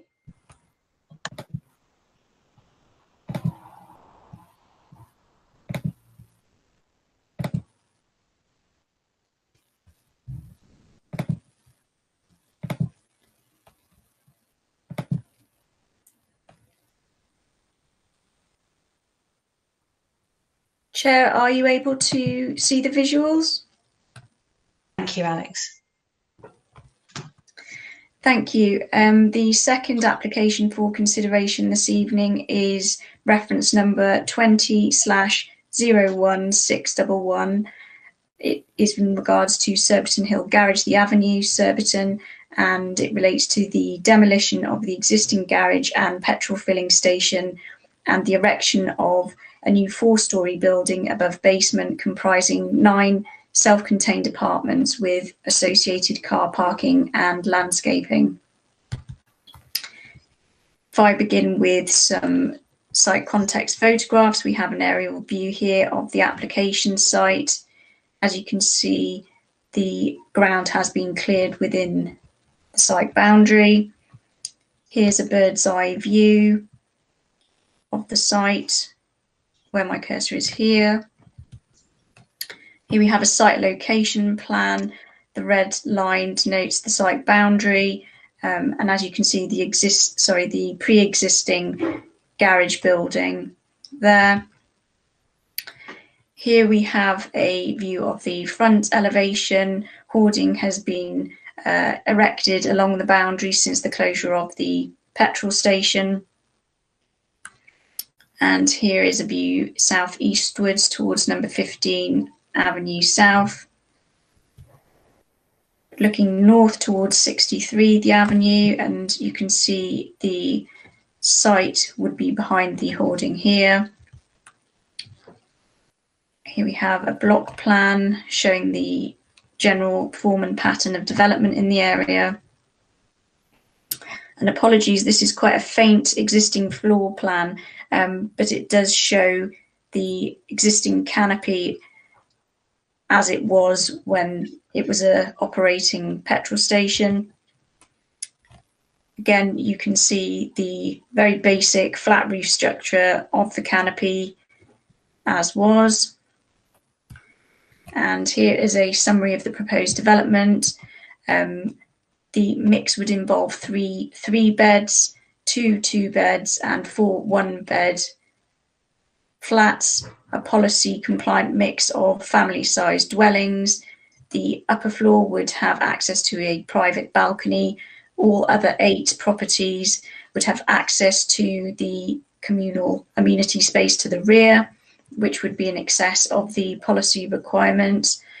Um, in terms of car parking, six off street car parking spaces would be provided, including a disabled space and we have in excess of the policy requirement number of cycle parking spaces. This is a proposed block plan of the flatted development. As you can see, the front building line would be set further back than the existing garage and slightly forward of neighbouring properties, number 63 to the north and 15 to the south, but broadly similar. Here we have a proposed site and ground floor plan. You can see the car parking spaces to the front of the development on either side of the entrance. Here would be the communal amenity space to the rear, plus the landscaping and introduction of plants and shrubs as screening. Here we have the light wells that would form the main light source to the basement flats at the rear. And again, we have light wells serving the front elevation and the habitable rooms to the front. And here we have the basement floor plan to go back a step where flats one and two would be situated and then we have roughly two flats on each floor. This would be flat five and six on the first, seven and eight on the second, and flat nine on the third, which has the private balconies, as you can see, to the front elevation, and a flat roof form.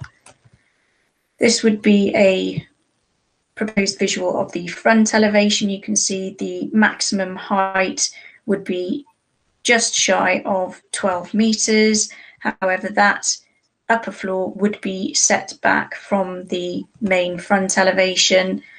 The predominant features of the development would be the projecting bays oversailing the ground floor level.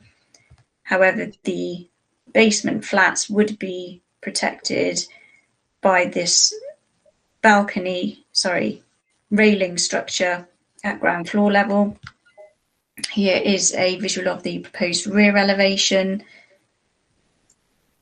and the sides. And here is a street scene elevation. As you can see, it is roughly in keeping with the height of neighbouring properties, despite the more contemporary design approach. And here, more helpfully, is a color computer generated image of the front elevation. As you can see, it would be a flat access to the main entrance, and you can see the car parking provision on either side of that entrance.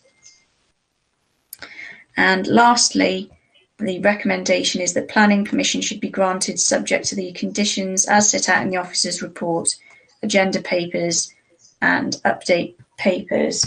It's important in this case to um, emphasise to members that this is a revision of a recent planning permission um, that was granted back in 2019. The only difference between that and this is the addition of a further floor of a flat roof form and the addition of a three bedroom dwelling, which would bring the number of family sized dwellings up to a policy compliant level. Thank you, Chair. Thank you, Alex. Um, we have one registered objector for this application, Christine Jackson. Welcome to the meeting. Please can you now address the committee with your comments? You have five minutes to speak and we'll let you know when you have one minute remaining and when your time is up. Thank you.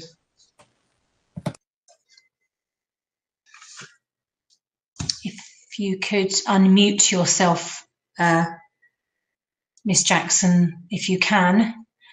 I think it was star six, I believe, from one of our helpful counsellors. If you do star six, that should hopefully unmute your phone. Just give Miss Jackson a few a few seconds to unmute her phone.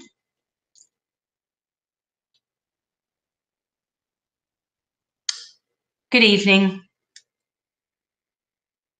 Can you hear me now?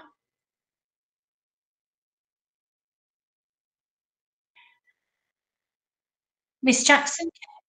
Yes, we can hear you now. So if you could start, you have, I don't know if you heard uh, before, but you've got five minutes to speak and we'll let you know when you've got one minute remaining, when your time is up. When your time is up. Thank you.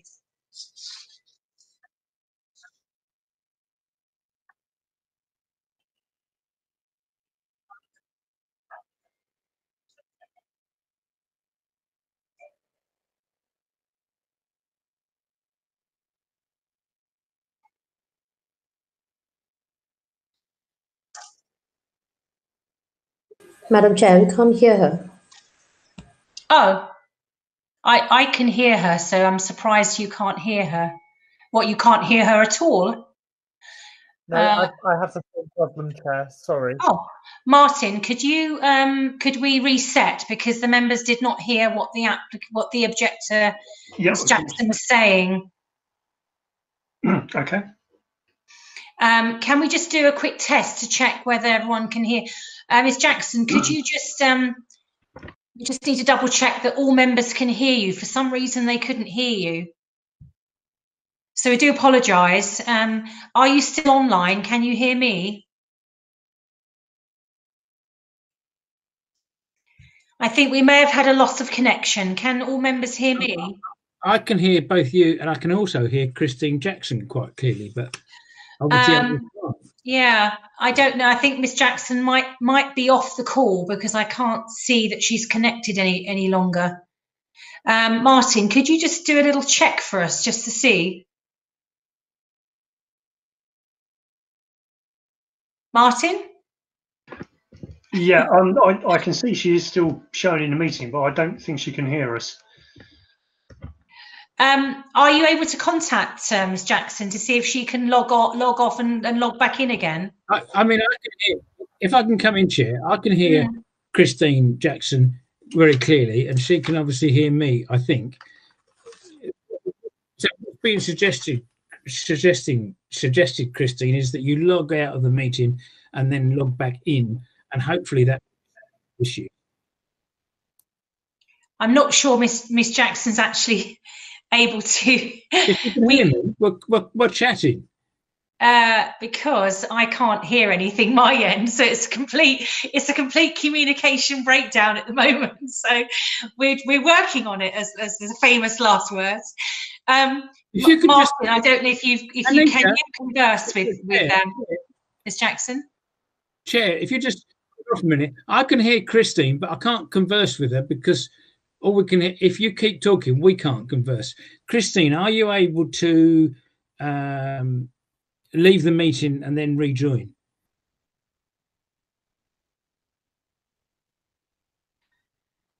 I'm afraid, I'm afraid, um, Councillor Self, that we lost connection with her a little while ago because I can't hear her either. So, uh, Martin, are you able to try and get hold of Miss Jackson to see if she can log will, back I in? will see if I can do that, Chair.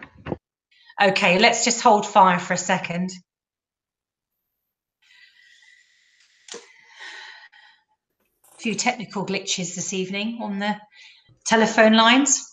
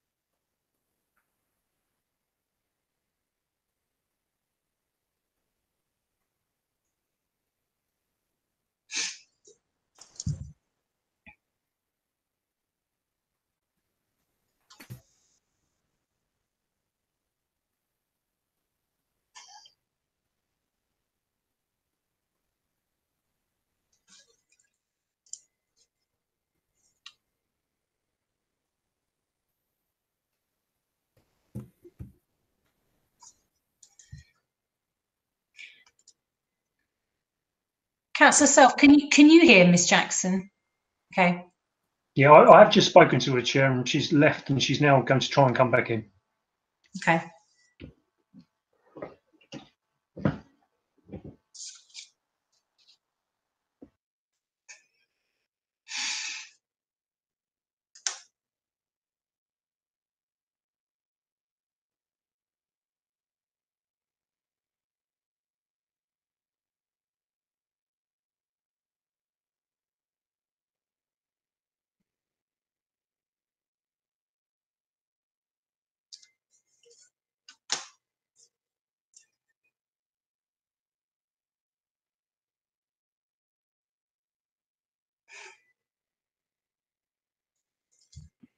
Christine, can you hear me now? I can. Oh, good evening. Can all members hear Christine? Thumb, but give me a double thumbs up. right. I think we may have got over some technical gremlins in the system this evening. So, um, shall we just start afresh? So, um, you have your five minutes. So, please do begin. Thank you. Good evening, council members. My name is Christine Jackson. I live at 82 Manor Drive with my husband, Nigel Jackson. We have lived at this address for over 40 years and have brought up our family in this house and garden. My neighbour, Yvonne Clover Lambert, lives at number 84 Manor Drive and shares the concerns which I am about to bring to your attention. She too has lived at this address for a lengthy period of time. Both 84 and 82 Manor Drive will be affected by the proposed building on the site of Surbiton Hill Garage. It is not the building of a multi-occupied building which concerns us, but the height to which it is proposed to build. Our gardens are already overlooked by the existing buildings in the avenue due to the extensions into the roof areas. There has been a lack of consultation and cohesion as to the style to which this has been done in the past. So the residents of Manor Drive are forced to look at the add-on blocks which now mushroom off the roofs of several properties in the Avenue and Avenue South. These roof extensions have large picture windows which enable occupants to peer into our gardens and look into our bedroom areas, giving no concern to the fact that we have lived in Manor Drive for a very long time. The whole character of the residential area has changed due to the design of these extensions, and the increase in the residential population. At times, residents in these multi-occupied buildings comment on our activities in our gardens. We are subjected to this, plus their playing of loud music which emanates from the overlarge window areas. We have tried to maintain our privacy by growing high fir hedges, but there is a limit to which this can be done due to safety and the restriction of light in our gardens. There is the ever increasing issue of noise with so many occupants in each house. The garden areas become extremely noisy with many children shrieking, noisy exchanges from the occupants enjoying parties and barbecues.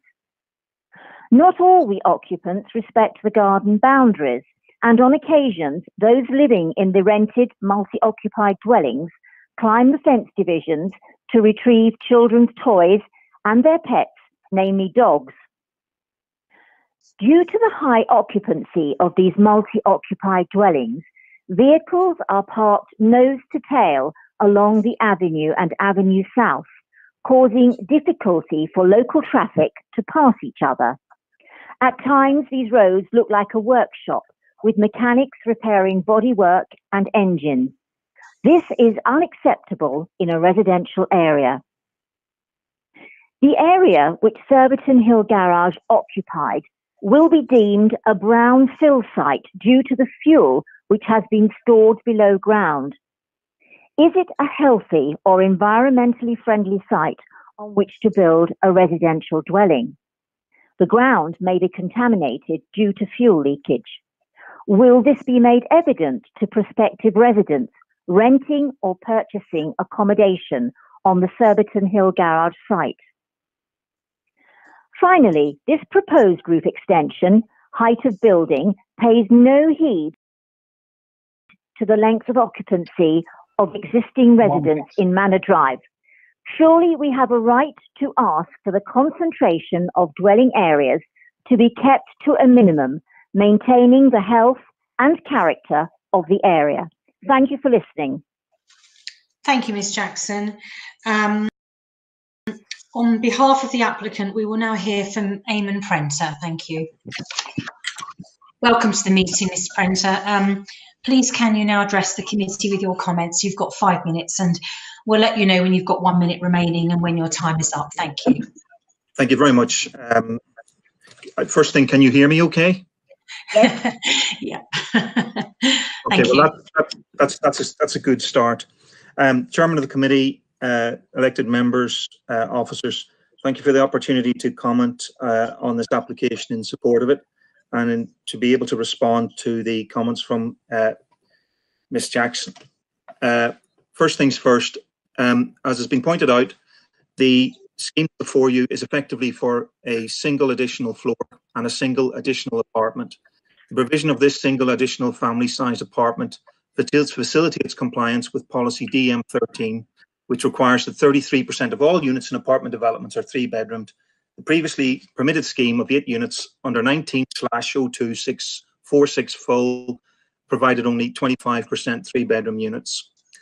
The comments made by uh, this objector uh, a few minutes ago um, really reiterates the comments that she made in her original objection, other than, I suppose, um, quite a number of comments and concerns about what I'll call the existing situation there in the locality rather than the actual proposal itself. Um, I don't believe that the people who will be occupying this development will be uh, uh, any less law-abiding uh, or generate any more noise or uh, issues than uh, the vast majority of people in the area. As far as the previous concerns expressed by the subjector, I just want to make a few comments. Um, this four-storey building is not out of character with the area. It's 40 centimetres taller than that granted previously under 1902-646 FUL. That's effectively, or just put in some context, the length of a school ruler. The proposed additional floor is set back, marginally visible, as you will have seen from the visuals presented, and is lower than the height of number 15, the Avenue South. Secondly, the site is not within a conservation area, and I'm very glad to say that, in light of discussions on the previous item. Thirdly, the proposed four-storey building is not much taller than the other structures in the avenue as alleged. It is slightly taller than 63, the avenue to the north, and slightly lower than number 15, the avenue to the south. It, it is acceptably, in our view, nestles between the heights of these two existing buildings when viewed from the avenue. In fact, the additional floor proposed when viewed from street level will be hardly visible. Fourth concern from this objector is concern of apartments built into roof spaces.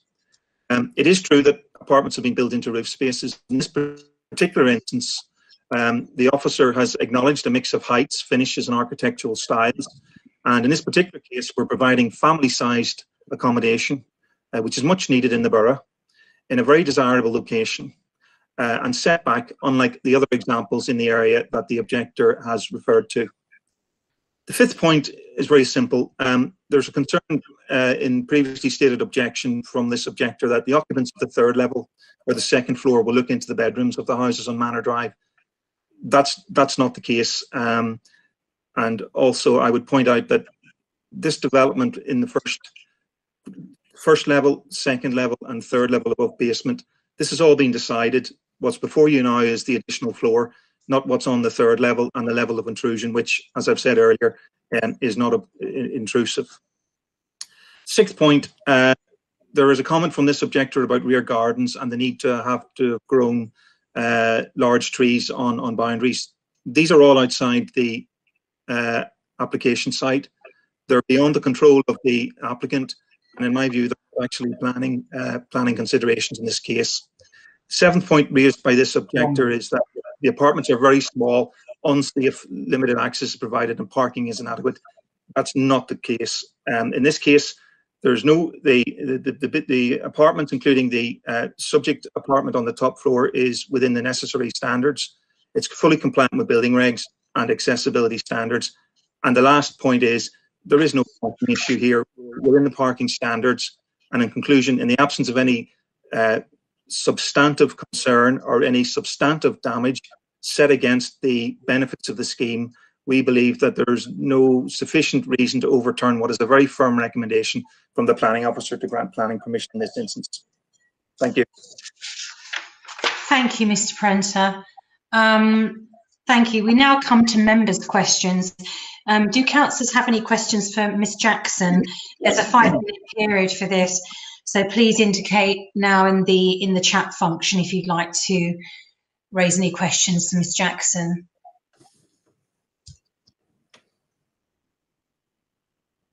Just checking to see if anyone wants to ask the objector, Ms Jackson, any question. I don't see any names in the in the um, chat function. Um, so do councillors have any questions for Mr Prenter? Okay, we've got uh, Councillor Green. Thank you. Uh, thank you, Chair.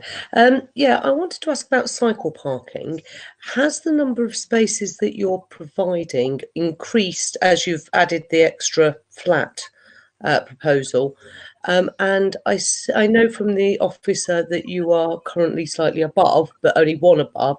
Uh, and I wondered whether there was any opportunity to add further cycle parking if this was permitted. It is a very easy cycle to a lot of places. Um, and obviously, we would be wanting to encourage uh, cycling. So I couldn't actually see where the cycle parking was, to be honest, on the plans because they're a bit hard to see on your computer.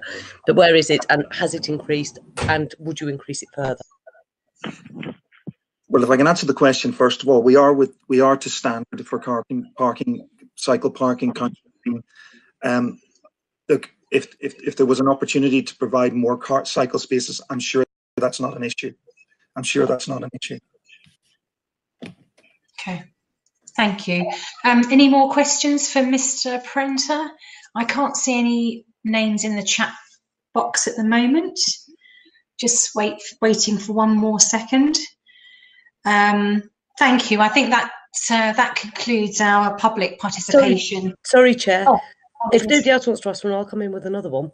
Yes, uh, which is to do with electric parking points and whether any of those would be um, electric, any of the six ready for electric charging points. I can't remember what the terminology is now, uh, but where it's enabled but not switched on, if you see what I mean. On is there any electric charging points? Let's put the question a bit simpler. Yes, I think I think I think I think there is actually yes. Um, I think there is yes. The, the officer can clear up the exact details later. Thank you, Mr. Prenter. Thank you. Oh, and uh, Councillor Gander. Yes, I, I think that, that the term Councillor Green was looking for was passive. We'll, we'll talk to um, the officer about that. Thank you. Um, are there any other questions for Mr. Prenter before our time is up? I can't see any names in the chat box, so thank you, Mr. Prenter. Um, so if you would like to, um, you may leave the meeting and follow the rest of the proceedings on the YouTube stream. So thank you very much indeed for joining us this evening. And um, we now come to the committee's comments and debate on the item. Um, do any members of the committee have any comments on this application? Please can you indicate in the chat function? Councillor Self?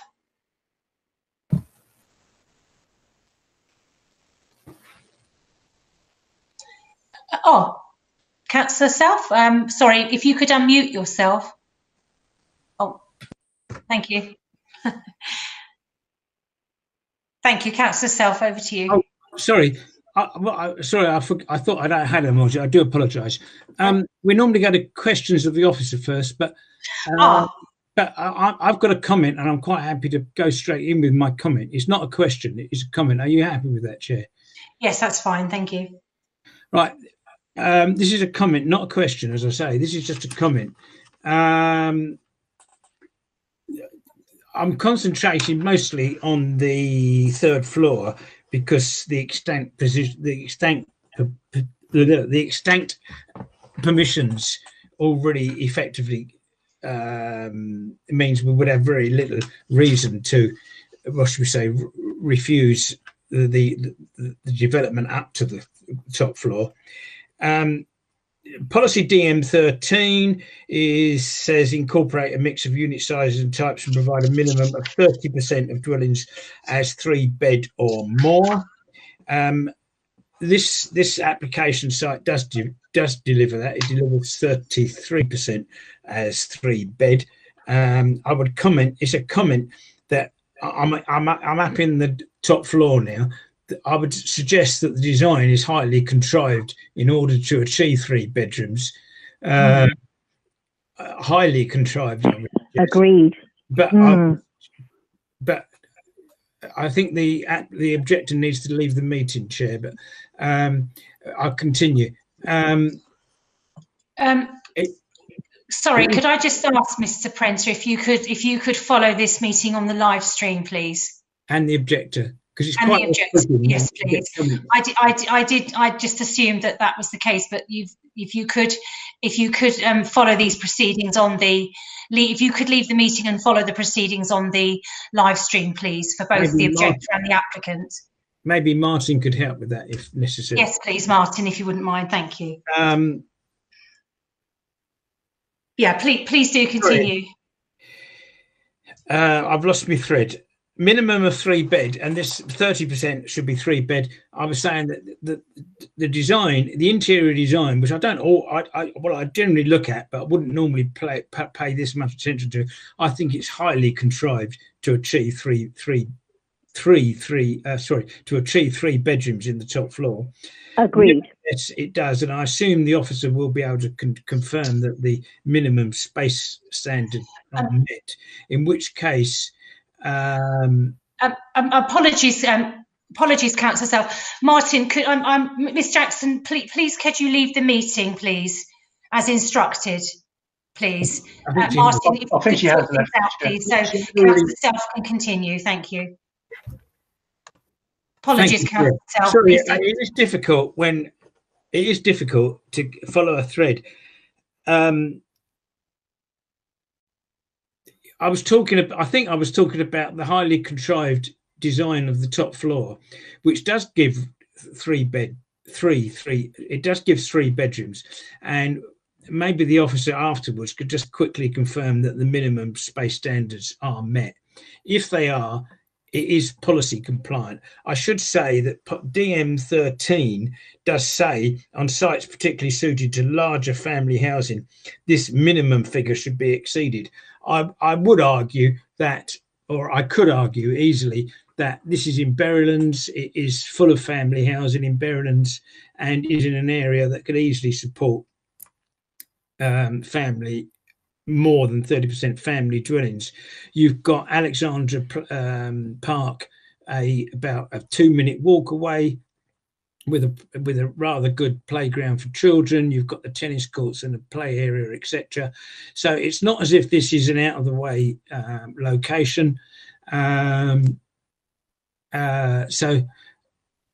Uh, so I, I, I, but it, it is necessarily it is nevertheless policy compliant. So I don't think there's much. I can't come up with a reason to refuse this. Um, I think it does the um, the the design is such that it does fit in with the area. That uh, the whole of the avenue is, well, virtually the whole of the avenue is flats. Some conversion flats, some new blocks like the one immediately opposite. I think the design of this one is superior to the block immediately opposite one can argue about the design of other blocks along the street, but they are quite varied.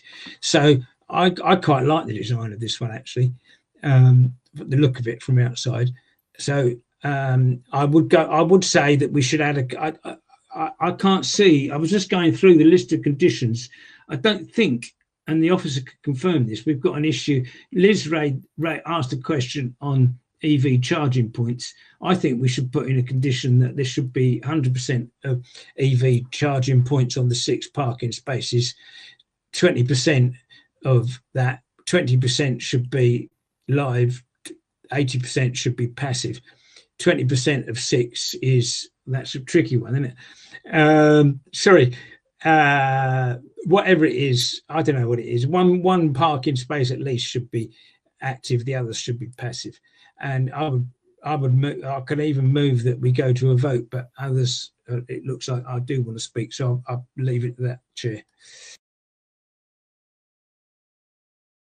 Apologies. I don't know if um, uh, purely from a script point of view, um, I realised that um, I hadn't given Alex the opportunity to sweep up any of the issues, but um, seeming that there have been so many technical issues this evening, if you're happy just to press on, and then Alex, I come back to you afterwards.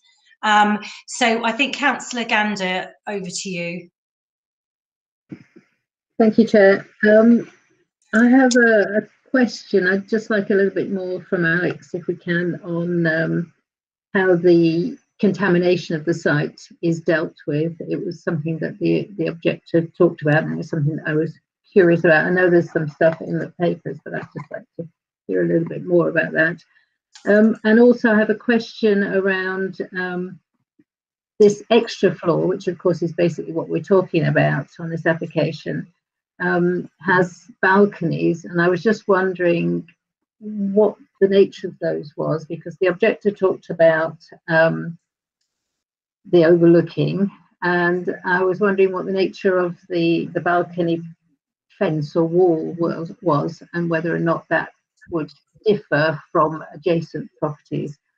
Um, but just really to see uh, about that element as far as the houses on Manor Drive were concerned.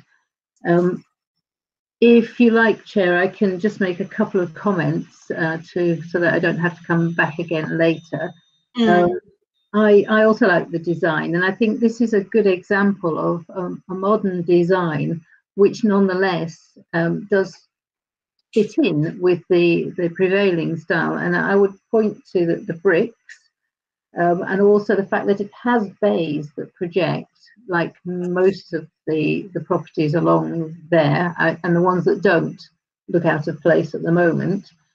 And, and the, the, the roof being set back is, is a lot better than some of the mansard uh, roofs that are already on the, the, the, on the street, and, and therefore it actually is an, is an improvement. Um, so it's a modern style and improving and it's it's got some features that that tone in. Uh, thank you, Chair. Thank you. And now, um, just before I go to Councillor Green, I'm going to make a request again. Please, Ms Jackson, can you leave the meeting and follow us on the live stream, please? Because I can see that you have rejoined the meeting. So I'm asking you again, please can you uh, leave the meeting so we can continue with the meeting uh, with the members' comments. And uh, you all need to leave the meeting and you can follow us on the live stream. Um, if I can, Martin, if I can leave you to uh, uh, manage that process, please. Thank you. So I'd like to go to Councillor Green, please. Thank you, Chair. Um, I find this a rather odd considering the last one where I really liked the buildings, but they were in the wrong place. I don't actually like this building very much, but it's in such a mixed place that frankly there's no reason to refuse it on the fact that I personally don't particularly like the look of it. Uh, it's not the worst I've ever seen, uh, but it's certainly not the best. Um, I've mentioned the cycle, and I agree with Councillor Self, if, if Alex can pick it up at the end, that um, a percentage, which is not 20%, but one or two of the bays should be active uh, and the rest passive. Thank you, uh, Councillor Gander. Um, so that we can have electric charging points in there. Uh, I don't know if it's possible as an informative, if not a condition, because it won't be policy compliant to be a condition because they already meet it on cycle standards, but whether we can have an informative that secure cycle parking would be really, really welcomed um, on the site because I can see that being used a great deal. Um, but overall, my comment would be that we should that we will need to permit this. I don't think the extra floor adds any disadvantages um, that I can see. So um, yeah, that's my comments on the application. Thank you, Councillor Green. Um, Councillor Beynon, thank you. Uh, thank you, Chair. Um, just really um, a question, really going back to what uh, the objector was saying. I mean, I think from yeah, listening to her, her main object, objections were around kind of privacy, the, the, the noise, etc., from the development, and um, you know potentially antisocial aspect of you know having more people crowded into a smaller space um, and you know they're just making the situation worse. I mean I don't know if that's something so just because no one else has brought it up. I mean what how much could we take that into account or if at all um, in planning decisions and what can we do if we are concerned about that in terms of maybe putting conditions down um, to manage the impact of yeah kind of um, potentially yeah more more people living in a confined space.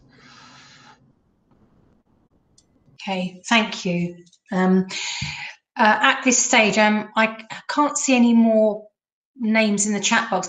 Alex, I'd like to turn to you because I think obviously you hadn't swept up the issues first of all. So let's do that, but also just to look at some um, of the uh, of the comments. Really, if you can articulate what members have been saying in terms of conditions and informatives, please. Thanks. Thank you, Chair.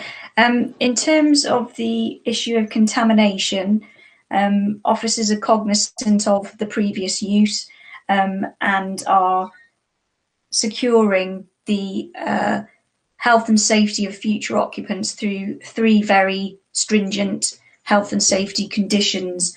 Um, if you turn to conditions seven, eight, and nine, um, we ask for technical studies on the subject of contamination to ensure that there, there would not be any unacceptable adverse impact. Um, in terms of cycle parking, um, details would be secured via condition 16.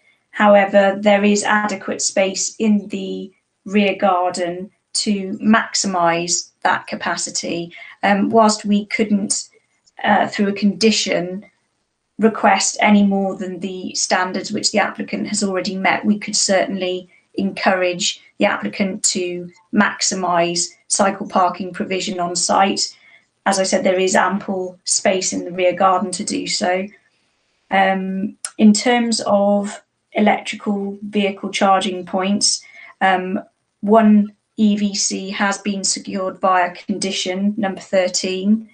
Um, unfortunately, we wouldn't have the policy basis to require further EVCs, but again, we could, through an informative, encourage the applicant to maximise the number on site.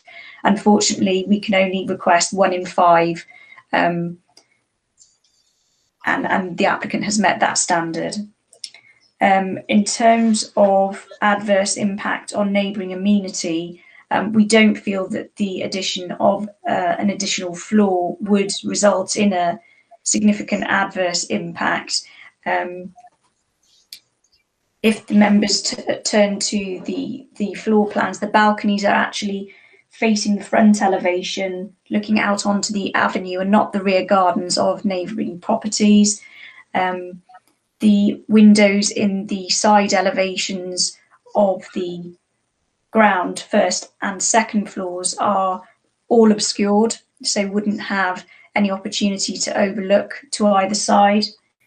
Um, and in terms of the comment about residential occupation, officers believe that this application um, has already established the residential use on site through the previous permission. Um, not only that, it's for a residential use in a wholly residential area and wouldn't create any noise or disturbance above and beyond uh, the existing uses in the vicinity. So we wouldn't have any grounds to restrict the applicant in that regard. Um, if I've missed any points, councillors, please do um, interject. Thank you.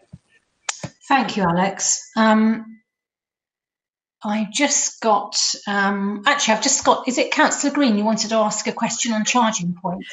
Yes, you, you mentioned, Alex, that uh, it meets the policy standard of one in five. There are six points there, six bays. Uh, if it needs to be one for every five, surely for six, it's got to have two. Uh, and then, and I'm aware this is uh, uh being broadcast, but um, I would say if we were to change that condition to say two, do we really think the applicant and give permission? Do we really think the applicant would go to appeal on that condition so that he had to only give one instead of two? So I'd like to propose that that condition is changed to provide two electric charging points. Thank you, Chair. Um, my, my reading of London Plan Policy 6.13 is that we can only ensure that one in five spaces provides an electrical vehicle charging point. Um, we'd have to have 10 total spaces to provide two EVCs. So I think it's perfectly reasonable to encourage the applicant to provide more, but I don't think we have a firm or reasonable policy basis to ask for any more. And on the point that were they really going to go to appeal if we put two in?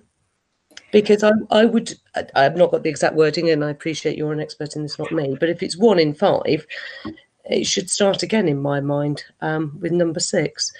I'm not going to die in a ditch over it, and I don't want to prolong the meeting, but um, it just seems to me we could get away with it. Thank you, Chair. Um, whilst the likelihood of the applicant um, appealing on this ground may be um, low risk, we have tests which we have to abide by when we're applying conditions, and I don't think it would meet those tests, unfortunately. Thank you, Alex. Uh, Councillor Self. It's just, just that on, on that, that's why I said 20% that's where I got my twenty percent from. It is that it's, just I know that's the standard, that's the policy, if you like, is twenty percent, which in this case works out at one point two spaces, and we would normally, I say we at DCC, we would take that as one space. So if it works out at five point six spaces, we would still say five spaces, I think. But this is one point two, so I think I can't see we could I would stick to if and if we, we can put in a condition that says 100% must be EV charging points, 100%, just that 20%, i.e., one in this case, rounded down to one, would be active and five would be passive. Alex, could you come back on that? Alex, sorry, could you come back on that point? Thank you, Chair. Um, I would have to go back and refer to the standards as to how many maximum passive points we could enforce, but they've certainly met the um, active uh, requirements. So if, if you're happy to allow me to confirm that requirement outside of this meeting, we, we could do that. What, what would members be minded on that point? I'd be happy to take that off offline to discuss. So could you, so looking at really looking at wording, Alex, of the con, of conditions, um, can you just confirm because I'm just picking up on points made about an informative to secure cycle parking was mentioned earlier, and also the uh, or maximise cycle provision on site. We're going to take offline the discussion about the EV charging point, but we, we have one EV charging point. Um, can you just confirm that that is, I'm just articulating as much as I can members' comments, but I think, um, can you just come back to us on that? Thank you, Chair. Um, I can confirm that the only supplementary um, informatives members are suggesting relate to maximising cycle parking provision on site and maximising um, electric vehicle charging points on site. Okay. Would that be, um, we are trying to sort of making sure that we articulate what, what we've discussed. I'm, I'm taking that maybe just to ask a, general, a consensus that, that you'd be happy with that wording um, and we can take offline off the meeting, but I'd be happy with that going forward on that basis. Um, so um, what I'd like to do now then is um, I'm I think at this stage, do we need do we need to vote on these conditions or we're going to do that now? Or we're happy to go to the substantive motion straight. So um, I I think therefore um, I'm going to ask Martin to manage the vote, please. Thank you, Chair. So the um, vote before the committee is that planning permission be granted for the Surbiton Hill Garage application, subject to the conditions set out in the report and the additions of the informatives um, on cycle parking and electric charging, which we've just been speaking about.